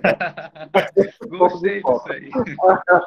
Mas perceba, eu posso fazer uma crítica dos, da ética, porque o, existe uma ética né, no, no, no Bakhtin, que é uma ética, inclusive, que se fala no círculo, né? Quando eu falo Bakhtin, entendam o círculo. Sim. Sim. que é uma ética da, da respons, é, respondibilidade, da responsabilidade, quer dizer, que o eu ele, ele age e fala né? O tempo todo direcionado a um, a um outro, né? Que pode ser um outro imediato, pode ser um outro institucional, mas é um outro que está posicionado na estrutura em relações que não são simétricas, né? Então o sujeito, por mais, o que não implica que o sujeito ele, é, ele, é, ele responde numa relação passiva a esse outro, né? Mas que o sujeito, ao responder a esse outro, ao ser demandado para esse outro, eu, eu, eu respondo prevendo, achando que eu sei quem é esse outro, né? E aí o que acontece? Aí está implicada a responsabilidade do sujeito nesse, nessa questão da previsão. Porque o sujeito, ele, ele fala para Bakhtin sobre um efeito de previsibilidade e de conclusibilidade, né? Tanto que Bakhtin fala que essa é uma das condições do discurso acontecer. O sujeito fala acreditando que o discurso dele, acreditando, né, que o discurso dele é fechado, quer dizer, que ele vai se fechar, porque eu, tô, porque eu posso prever quem que é o sujeito para quem eu estou falando.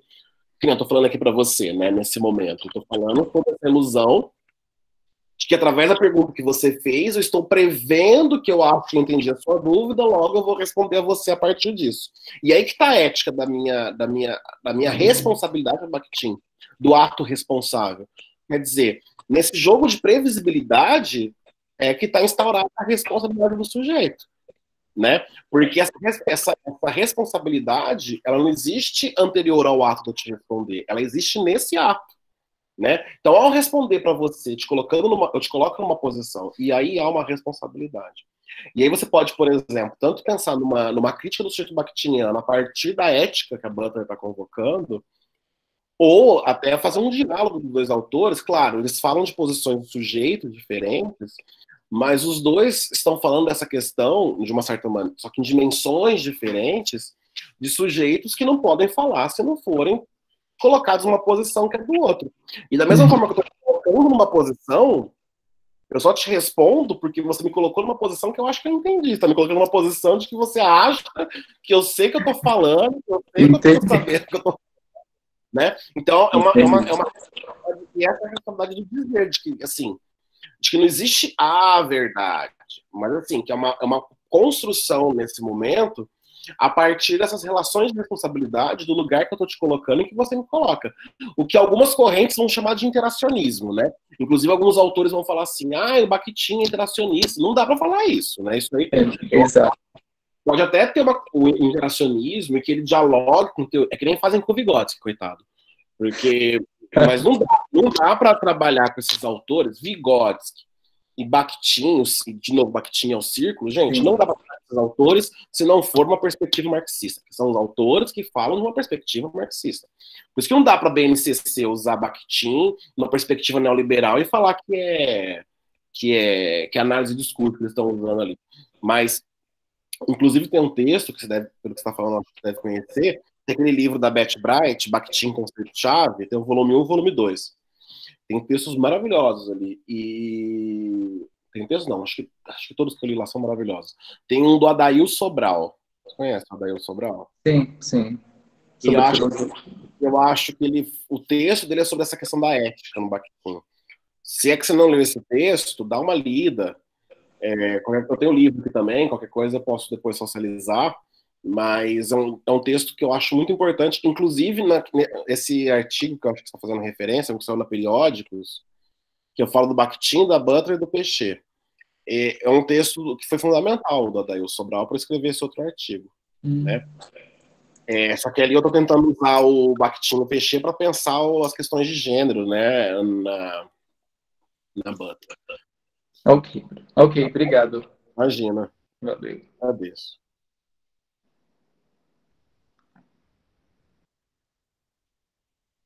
Cansaram?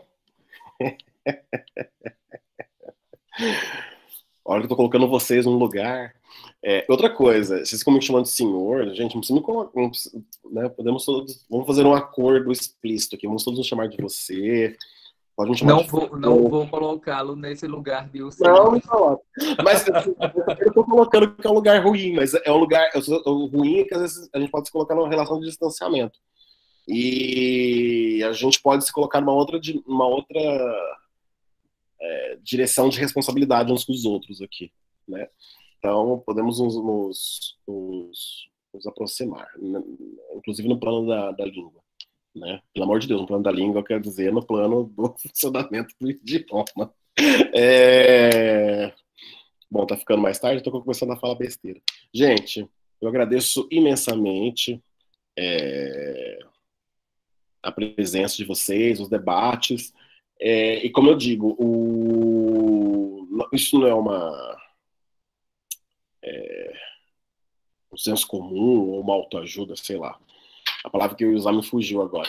Mas, é, é, inclusive, essa leitura que eu faço da Butler hoje, que eu apresento da, da Butler hoje, é em função dessas relações dialógicas nossas aqui também, tá?